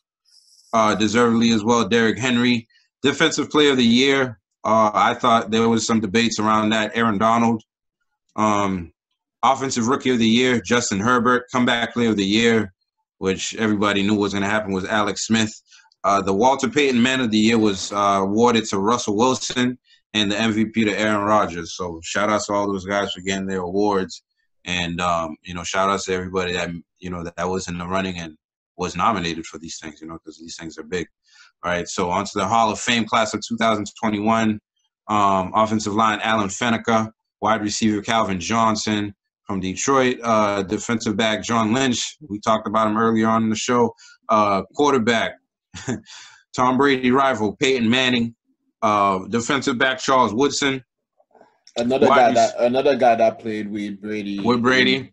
In Michigan, yep, yep. And, that's and right. hates on Brady till this day, oh yeah, you know, That's for, right. for the tuck game rule. yep, yep. And then um, wide Sure. receiver Drew Pearson, um, who who's been waiting for a long time, and he finally got in. And Undrafted wide receiver. yeah, um, I don't know if you guys been looking at the videos from last year where he like got so upset that he didn't make it. You know, again, you know, he was, you know, he had his whole family around waiting for him, and then he didn't oh make it. dang! Yeah, it's I didn't see that. I didn't peep that. Oh. I gotta I gotta post that on ProFans underscore Sports. Um, Yeah, and go then follow that on IG. a contributor Bill Nunn um, made it. Bill, N- Bill Nunn is the guy. He's a scout for the Pittsburgh Steelers, a long-time awesome. scout for Pittsburgh Steelers, and I think he's one of those guys that been drafting amazing receivers. all these receivers, you know, for so long. Receivers, yeah, yeah, yeah. Yeah, no shoot, no wonder why they've been getting good receivers every, Every year. single That is year, crazy. man. Drafted or undrafted, And- they and they get still- they get they're, they're still getting them. they get ballers, undrafted or drafted. Yep. Um, Yeah, And Belichick, Belichick can't get one for for to save quarter. his life. Yeah. Um, I know seriously, it's unbelievable, unreal. Uh, one one guy that's connected to the Patriots that didn't make the list. Um, Richard Seymour, he was left off the class for the second time. Um, you know, unfortunately, but I think he might get it next year with with those guys. Um, that's coming up. Let's hope so. He deserves to be in the Hall of Fame. I think he deserves I it. agree. You know, stats are not like that guy. He was an anchor for the three Super Bowl teams that we had in the beginning of Brady's career. You know, without those guys, we don't win those those championships. So he definitely belongs in there. And it, it's sad because, you know, being with Bill Belichick and Brady, a lot of guys are not going to make the you know um, the Hall of Fame just because. You know what I'm saying? Um, there's a lot of guys that are not going to make because they're going to say, "Oh, he played for Bill Belichick," and because they sacrificed stats for like team team success. yeah, and it was it was the defense the defense that he was in too. The defense he was in was he his job was to hold the the, the offensive line Hold the line and create space for the linebackers to to, attack. to make the plays. and you know, and um, unfortunately, he didn't get the stats. But he's a dude. He, you know, nobody could move him. He was. He was We don't win those without You him. know what I mean? So, um, he deserves to be in there. For Right, sure, They man. got to get in there. No, no doubt. He's got to get in at, at- at some point. One of the best defensive linemen I've seen play, and uh, and when I thought he was really dominant in his career, uh, you know, with, with the Patriots, and uh, you know, after he left, he was still a good player and did his thing. So I think he definitely should be in there. They shouldn't hold that against him. Uh, guys like that have to be in the, the Hall of Fame. That you know played exceptionally well, and he not only was he good against the run, he was also good against the pass as well, and Listen, rusher. So if you're gonna let- complete defensive lineman, If you're gonna let Eli Manning in, you gotta let Richard Seymour in. Okay. That's all. I'm, I gotta say about Big that. Let, facts. let's let's pivot a little bit. Uh, let's go into the NBA. Um, so some NBA news, right? The NBA All Star Game will be on March 7th. Um, LeBron James says that it's a slap in the face because of the coronavirus and guys testing positive all over the, the, the league. And he says he has zero excitement for the game. Um, Giannis actually spoke about it. And, you know, he says, you know, quote, we got to follow the big dog, LeBron, man. The big dog says he has zero excitement, zero energy for the All Star game. I'm the same way. I want to see my family. And then another, you know, big name came out and, and made a, a statement. Kawhi Leonard, uh, he said, "It is what it is. We all know why we're playing. It's money on the line. It's opportunity to make more money. Just putting money over health right now, pretty much. Um, you know, like, what do you guys think about the NBA having a uh, their All Star game? I mean, same way, same way LeBron feels, same way Kawhi feels, same way um, Giannis feels. I mean, why why have that? I mean, and you're gonna have it in Atlanta bro, everybody's gonna come back with the coronavirus, man. It's it's not worth having. Don't have it. We already just having the season. How many people already got sick to the season? You know what I mean? Right. We, we didn't have Jayson mm-hmm. for two weeks. Yeah. You know I mean? Why why why are we risking it? You know, let's not nah. Leave it alone. Let's not worry about that. Give the players some time off, maybe to go enjoy their time with their family for a little bit and then mm-hmm. come back and play the rest of the season. Let's not put people in danger. Um, I don't think it's worth having. I hope I hope they cancel it. I don't know if they're gonna cancel it because they already put a date for it. They ain't canceling. No, no, it ain't. Well, I hope the players boycott it or something. I mean, they ain't boycotting. Right, because the players so shouldn't agree to it. Yeah. They, they, they yeah, agreed that's to crazy though. How they, they how they agree to that? I don't even know how they agree to that. Money. I guess exactly, exactly. Guess.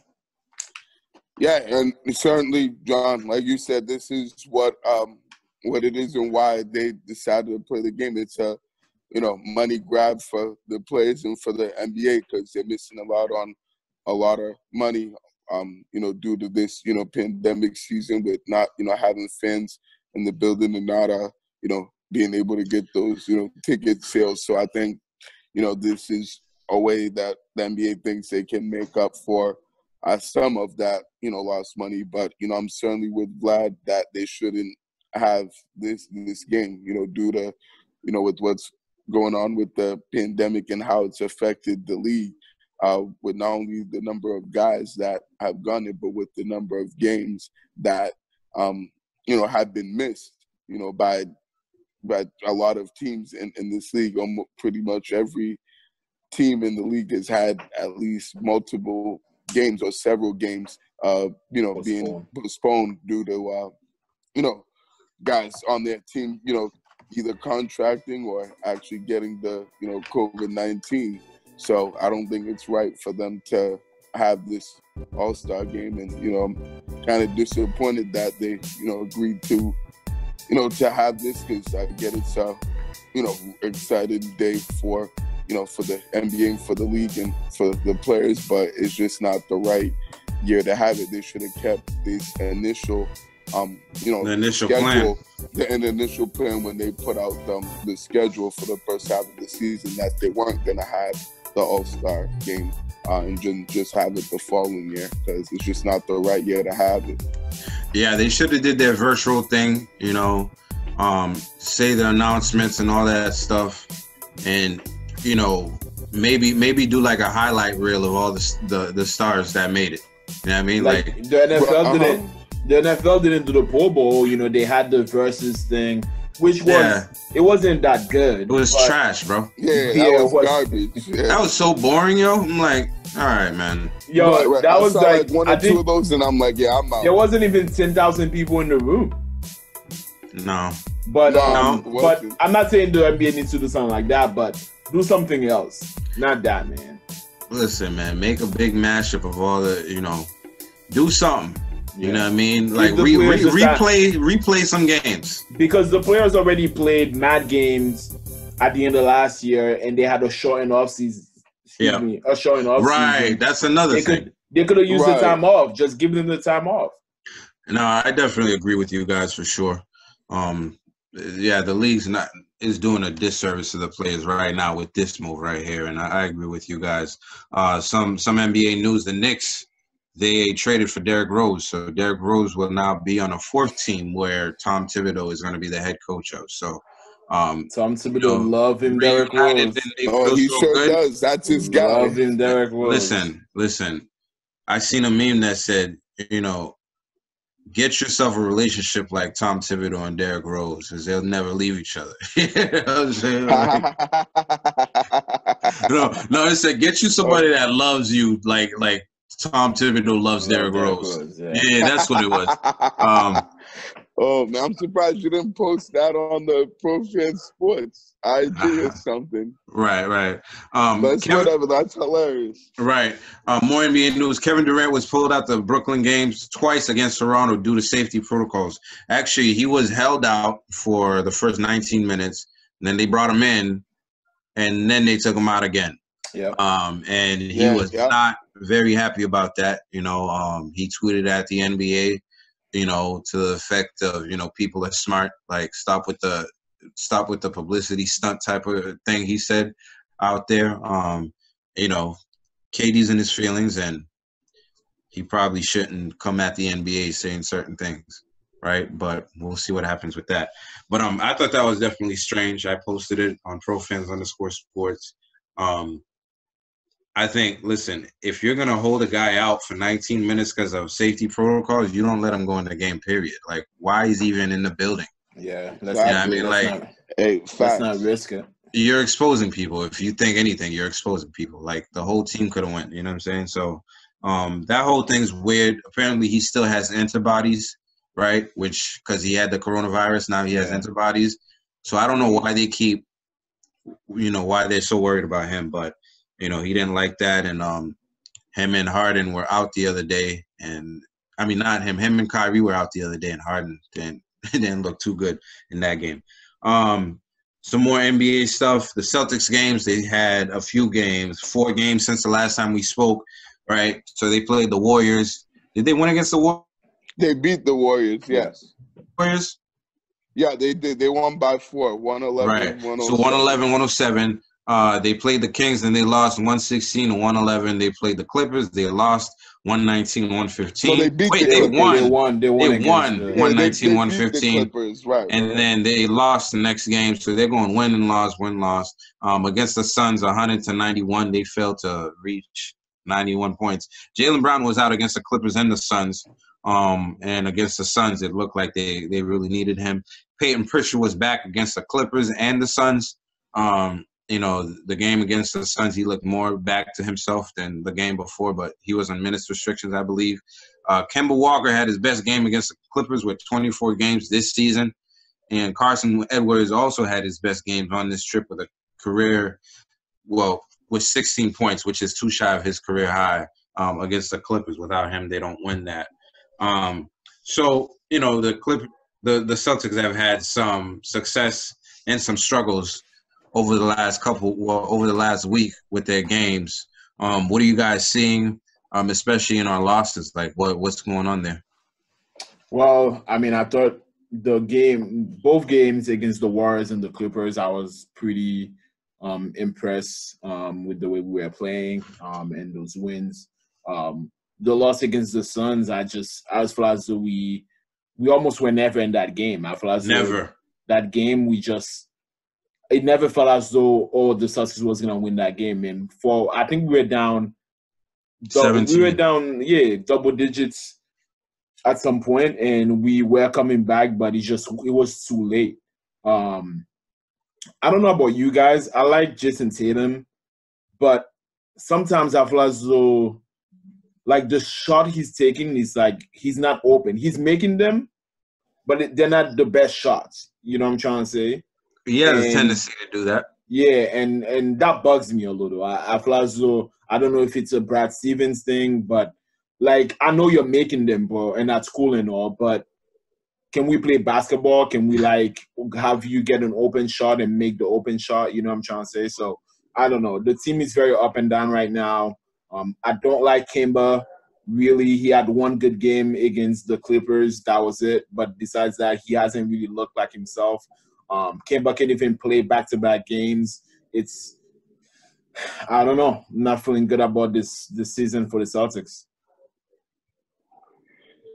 Yeah, no, I definitely hear what you're saying, Vlad, about Jayson Tatum. It seems like sometimes, as much as you know, I love his game too, and uh, you know he does, you know what I'm saying, make tough shots for sure. He's a good tough shot maker, but like make the tough shot when you have to make them. But exactly, like at the end of the game the or time. something, you know what I mean? Yeah, but like not just all your. I'm not saying all his sort of tough shots, but like what am I watching? You're just so you know what I mean? Like, can we play basketball? Can we get some open shots? Like, Right, right. The shot selection's not the best, and sometimes uh, you're right. The decision making isn't, um, you know, where where it needs to to be. You know, w- with him, or where we would like to see it. yeah, Um, yeah, You know, that's still a part of his game that he definitely needs to work on. Is you know decision making and you know and playmaking and right moving the ball and like you said, no,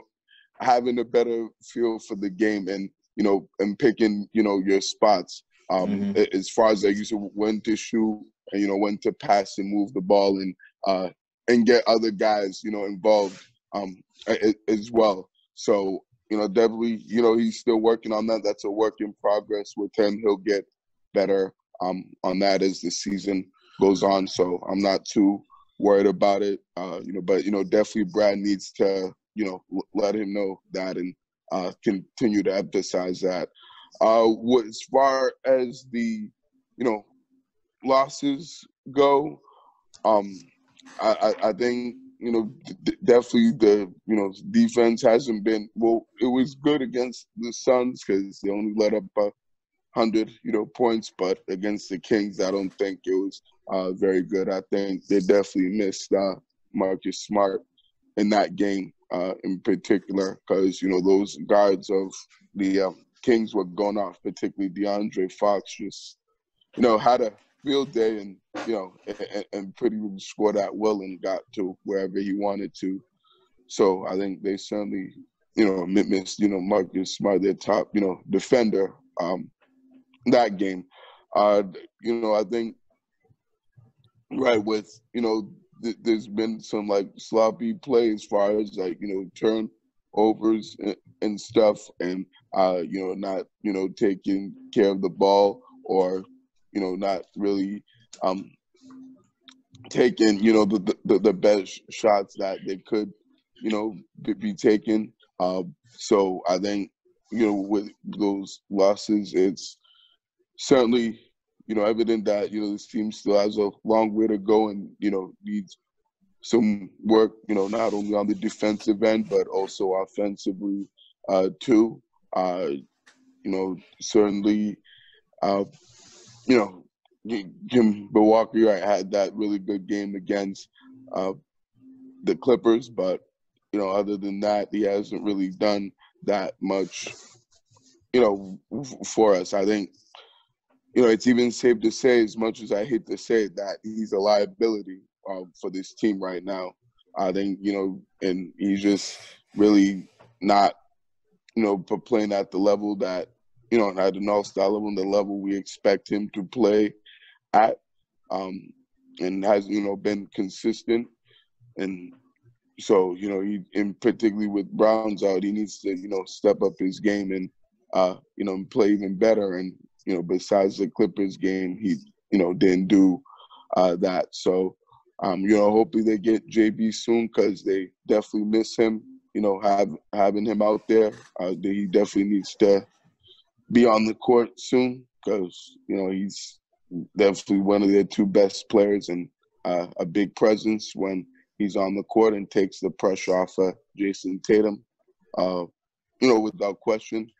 But uh, yeah, I think they just need to, you know, play better and be more consistent um, on both, you know, ends of the floor.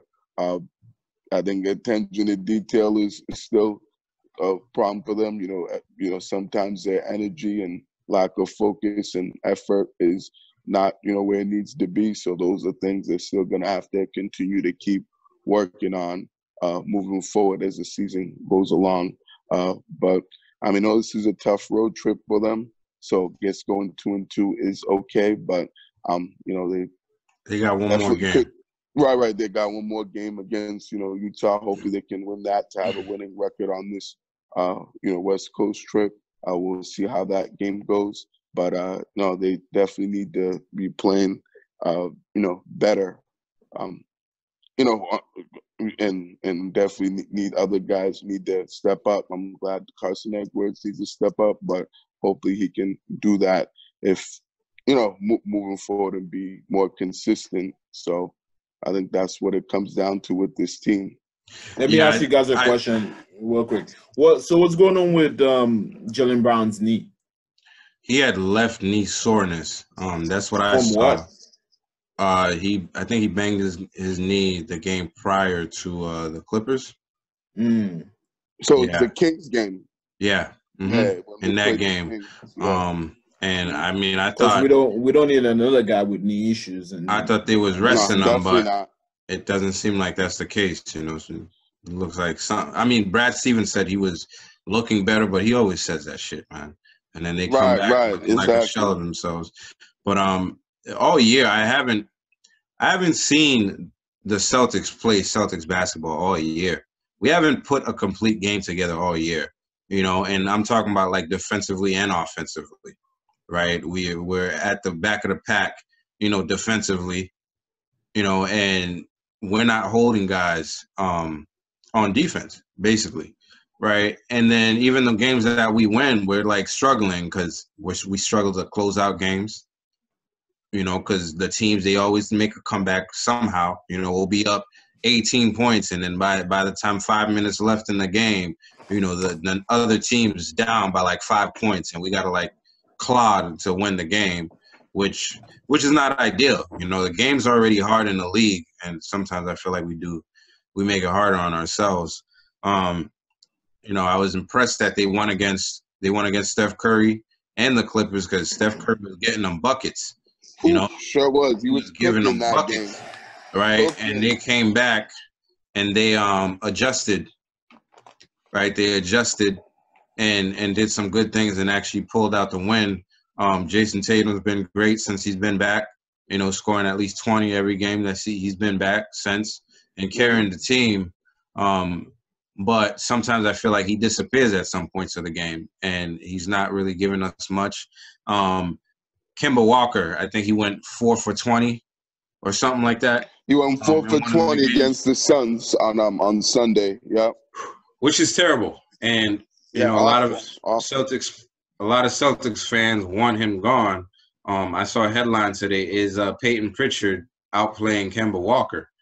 You know, I'm like, Wow, Man, really? that's- People already saying that? that's too early for that all that. It's- Right, exactly. Oh, my God. is- it is early. come on, Right, right. Barry, you're on these pages with me online. You see what's going on. You see what they talking about, right? Trade him. Oh, Kemba needs to. You know what I'm saying? It's like, dude, the guy. Yeah, first of all, already. he's come back from an injury. out of Boston. That's crazy. I mean, are you surprised? Uh no, not really. Uh, but I mean, at the same time, I think it's you know ridiculous those uh, you know suggestions that you know people are coming up with. You know, saying that they should trade you know Kemba Walker. Uh, I mean, I don't really see. You know, I don't really. You know, I don't really even think that's you know the best thing to do at this moment and see why they would do that right now. well, they, they want Brad Wanamaker. oh, he's playing for the Warriors now. He's the backup to Steph Curry. Right? Why would they want him back? And uh, I mean, they just haven't gotten any good, you know, besides Payne Pritchard, consistent play at the point guard. At the point Jeff guard. Teague's been awful. Um, as well, Jeff you know, man. as, as well, and Marcus Smart wasn't, you know, sh- shooting it and, and playing that, you know, well offensively before he got injured. So he was I a think- good facilitator, though. right, right, and I You think know- they certainly do, you know, m- miss that, um, you know, that aspect of the, you know, of the offense of when he's out there. Uh, but I certainly think. You know what I'm saying? These fans lose their mind. You know how No, they do, man. Are on the uh on, on the internet on facebook and in these groups they, they talk out of their ass and you know and, say all these ignorance types uh takes and um, and stuff. So I don't really Right. pay much attention to it. So some good stuff, you know, from the Celtics. Um, Tristan Thompson has started to play like Tristan Thompson the last couple of games. You know, grabbing boards, um, putting shots back. I Uh, still need him you to know. score like 15 points a game or something.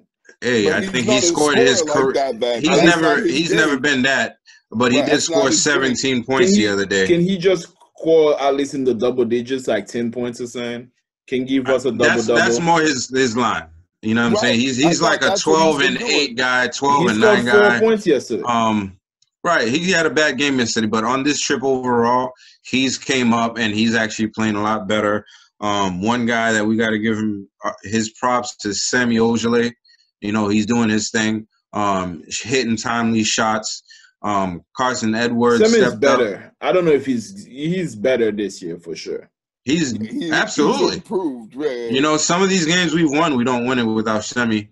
Um, Carson Edwards, he looked like he has some kind of life to him lately. We'll see how that goes, and you know, finally.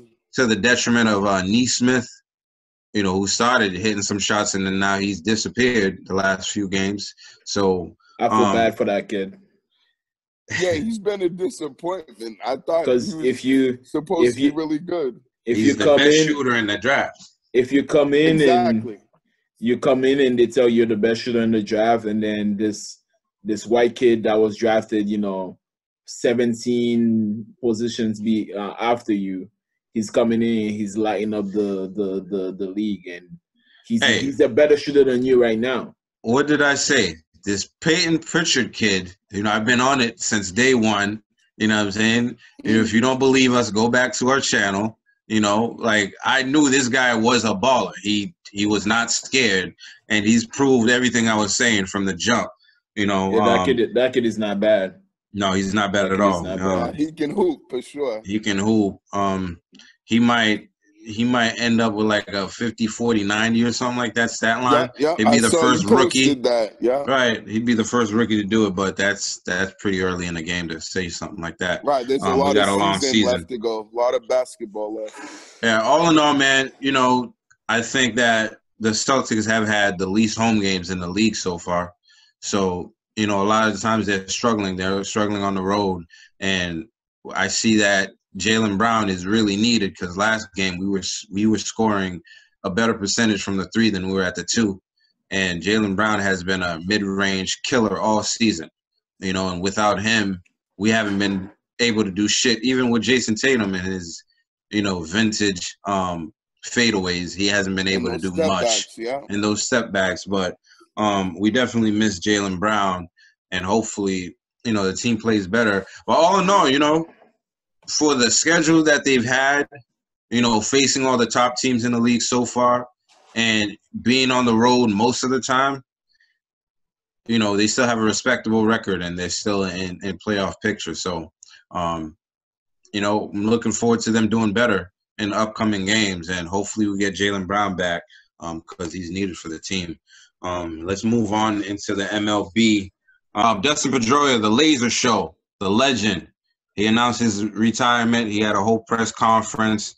Um, you know, and I mean, he was a legend here, man. He was the, the the little engine that could, right? The smallest guy on the field at all times, and outperforming a lot of people, right? Um, and I think he said, "quote." But there was a reason I was first one dressed at 5:30 for seven o'clock game.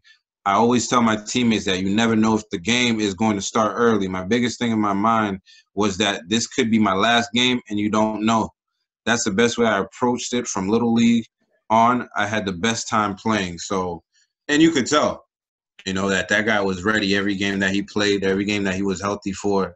He went all out, and sometimes that's like a detriment to um to them because they go so hard. You know, their body starts breaking down early, and that's that's pretty much what happened to uh Dustin Pedroia. One guy that's actually reminds me of his work ethic is um Payton Pritchard, and I hope that's not a thing that happens to him. You know, because that guy, like I said, he was dribbling till his fingers bled. So, you know, we know he takes that stuff seriously. But, you know, congratulations to Dustin Pedroia. You know, he had a great career in Boston. He spent his whole career here, and you know he's gave back the knowledge to the team because he was you know coaching with the team um, while he was on the roster as well. So you know it is what it is, and farewell to him. Hopefully he's he's on the roster as a coach. Um, Trevor Bauer signed with the Dodgers um, a three-year, 102 million dollar deal. So the rich get richer. You know that roster is already loaded, and now they're even more loaded. So um, if they don't go to another chip and win it, that's a bust for them again. You know, because it was Absolutely. the same thing last year, right? And but they you know, did win it last year. They so did win it. I'm just saying, if they don't win it this year again, it's a bust. You know, because they, they no have the doubt. roster to do it. You know what I'm saying? Baseball, it is hard to repeat though. Just like in any sport, it's hard to go back to back and repeat. For sure, As man. We saw in the Super Bowl, uh, you know, on Sunday. So for sure. But I mean, they definitely have the squad to do it. So we'll see what happens. Yeah. Um, and now we're gonna go into the NHL where Barry has um I think the the Bruins played three games. Or the scores of those games? Like who they play? Um, would you see in those games? So yes, they played um in those three games they had this week. The the first game was against the Washington Capitals, uh, which is the new team that Zdeno Chara is on, and uh, they ended up winning that game five to three. Uh, you know, which was an impressive win for them. Uh, then they played the Philadelphia Flyers twice um, in Philly. Um, and they actually beat them both times. The first game they played them, they beat them four to three, um, and in overtime, they, they you know came back and won. And then in the last game that they played against Philly, the second game, uh, they beat them two to one uh, as well. So as far as what I'm seeing in these games, uh, well, the, the first two were kind of similar because they're getting off to slow starts. Uh, and both of these games, they were down, you know, by multiple goals early in the game. Uh, the first game, they were down three to nothing. You know, the Zdeno Chara scored scored um, for the Capitals, uh, and then they got a couple of other goals from you know the other players and stuff, and they really had it going early, and the Bruins just didn't look good, um, you know, right out of the gate and at the start of the game. Uh, and then, surprisingly, in that game, they came back and scored five straight unanswered goals uh, to come back and win that game uh, five to three, which was definitely impressive because you know Washington's a really good team, and you know they had just beaten us, uh, you know, in the game before, uh, you know, when we played them. So um, it looked like they were going to beat us again, and uh, it was going to be a blowout. And the Bruins came back and showed their, you know, resiliency as they had this season, and you know, and, and, and played the, you know, a good two quarters. I'd say. I'd say they definitely started playing better. Their second uh, period, as I say, I shouldn't say quarters, it's periods in hockey. Uh, so they, you know, they, they started getting some momentum. Uh, I think they got a goal right at the end of the second period to cut the lead, and then uh, and and then they had, and then the third period is when they took over. They were, you know, down three to one, and then they had four straight goals um, in the third period, and you know, kind of took over that game and ended up winning. David Pastrnak was definitely the player that game. This kid's been on fire, guys. Like he's been balling, like killing it. He had two goals and two points. Uh, so he had, which means he had two goals in and an assist as well on um on one of the goals that uh, was scored by and you know by someone else. So he's certainly been you know, playing exceptionally well since he came back from uh, missing the start of the season. So, uh, and he's been their best player to say the least. Um, you know, since he's been back. So that was certainly a good win for them. And the uh, first game that happened with the Bruins, I mean, with the Flyers, excuse me, um, you know, there was a comeback win again. They were down three goals. Uh, again, they, they can they can't keep putting themselves in this position, but not well. Actually, they got out. They scored the first goal, and then they got, you know, out. Then Flyers scored three goals um, unanswered, and then uh, finally the uh, Bruins ended up, you know, coming back and scoring, you know, three goals to take the, uh, you know, to win the game. Uh, Pastrnak had a hat trick this game, so he played an even better game than the Capitals game. He was, you know, certainly a force in this game. And then Bergeron had the game winner uh, in this in this game in overtime, and Gucci scored 12 seconds into overtime and beat to win the uh, you know the game for the Bruins. So the captain, uh, you know, got it done and you know was clutch as uh, he always is. So I think you know with, with the Bruins here, uh, you know they definitely are really showing that they're the comeback kids and you know good at coming back from you know deficits. Uh, but you know they just need to know how to start games better and you know, you know, and, and, and play, you know, at their pace and control the game better, and you know, not let these teams get off to good starts and and be, you know what I'm saying, and, and get out to these leads because it's not every game you're gonna come back from, uh, you know, f- from deficits like that. And luckily, their last game they didn't, um, you know, get out to an early deficit. They had scored the first goal, and then the uh, Flyers scored uh, the next one, and then the Bruins scored, uh, you know, the second goal, which was the game winner uh, with with that. So, as far as who scored those goals, it was uh, you know Brad Marchand had the first one for the Bruins, and then Sean um, Kuraly had the second goal. It was the game winner for the Bruins. So, the Bruins are playing well. The, the they're you know been I got off to a really good start this season, and uh, and yeah, it, it, been certainly fun to you know watch them play. Fun to watch Dave Pastrnak uh, play. I'm you know becoming more of a hockey guy and a hockey fan. So um, that definitely um, hope to see them continuing to you know play this way as long as they don't get off to those slow starts and having to you know keep coming back. But I think other than that, I'm liking what I'm seeing from uh, from from the Boston Bruins. So hopefully they can keep it going. Uh, you know, moving forward into their next games uh, for this coming week. Thank you, Barry. I appreciate that. You know, that's for that's for our hockey fans right there. Barry just gave you a little breakdown of what happened. Um, and Barry, you're gonna have to prepare yourself to speak again because um, we're at the famous B Money Lifestyle Person of the Week, and yes, um, yes. I think we can we can we, we probably all know who the B Money Lifestyle Person of the Week is um because of Barry's hat. So let, us hear it. yes, yes, that's right. Yeah, de- definitely representing today.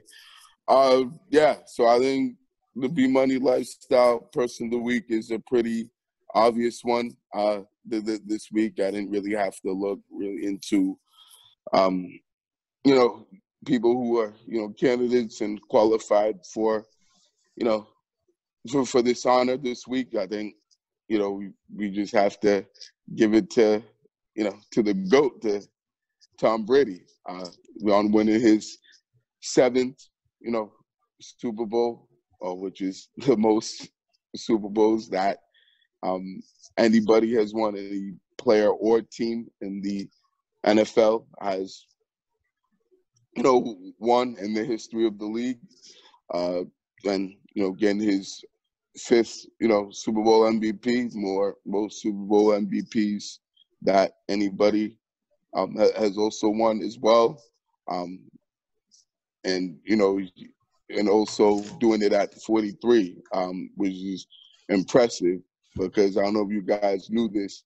At 43, Dan Marino and Joe Montana were both were elected into the Hall of Fame at that age. And like we said, Peyton Manning, who's roughly around the same age as uh, you know Tom Brady, was just elected into the Hall of Fame this past weekend, and yet Tom Brady's still winning Super Bowls and just Brad, won his seventh.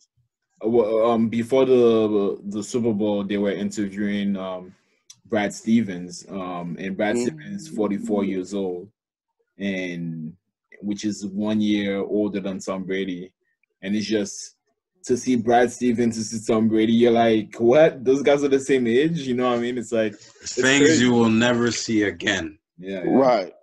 For real, for real. I mean, yeah. Look uh, at look at Luke McCown. He's about to be a head coach. He's 43. Brian Brian Leftwich. Byron Brian Leftwich Brian Leftwich. used to battle with Tom Right. Brady, and now he, he backed up um Wa- Roethlisberger. That's Right, right, e- exactly. And now he's freaking the offensive coordinator. I wanna see Byron as a- Brady. I want to see Byron as a head coach, man.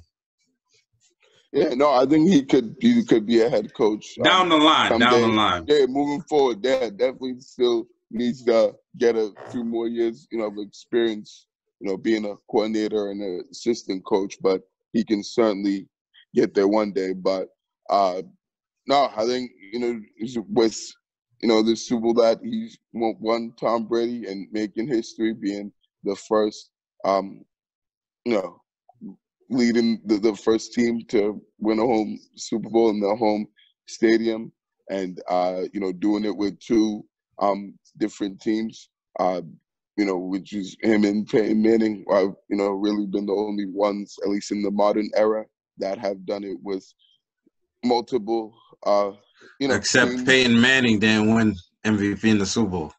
That's that's true. He did not. Right, right. He won More one, right? separation. He won one. Yeah, he won Bowl one, MVP. but the one with won the first- Broncos, he didn't. That was um he. Von Miller. Von Miller. Yep, yep, that's right. He sure did. I knew it was someone on that defense. So, uh, you know, it, it was deservingly so. So I think I just wanted to commend him, you know, for his greatness.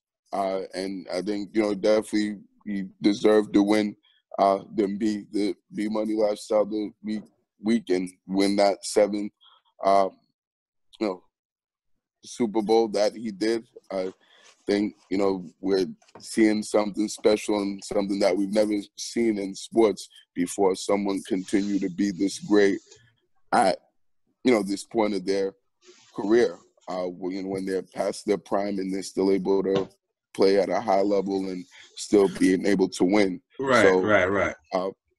You know, I think, you know, he he definitely wanted. Yeah, he I definitely wanted to give him this award because I mean I think that it was only right for you know the Super Bowl week to give it you know to the goat. Uh, you know, after getting his uh, you know, Super Bowl. So congrats to the goat on being the B Money Lifestyle Person of the Week. Uh, and that's definitely that B Money Lifestyle. Yeah, we'll make sure we mail that to him, okay? Um, For sure. I have to maybe get like a certificate or something. Right, right. Right, Or, right. uh, yeah. Um, yeah, and that's gonna be it for us for episode forty-seven. You know, so if you're still watching, thanks for the support. Uh, please don't forget to subscribe. Don't forget to share and comment on the videos. Those we appreciate y'all, and we'll catch y'all on episode forty-eight. Have a good one, y'all. That's right. Have a good, good, good week, guys. See you next week. Peace out.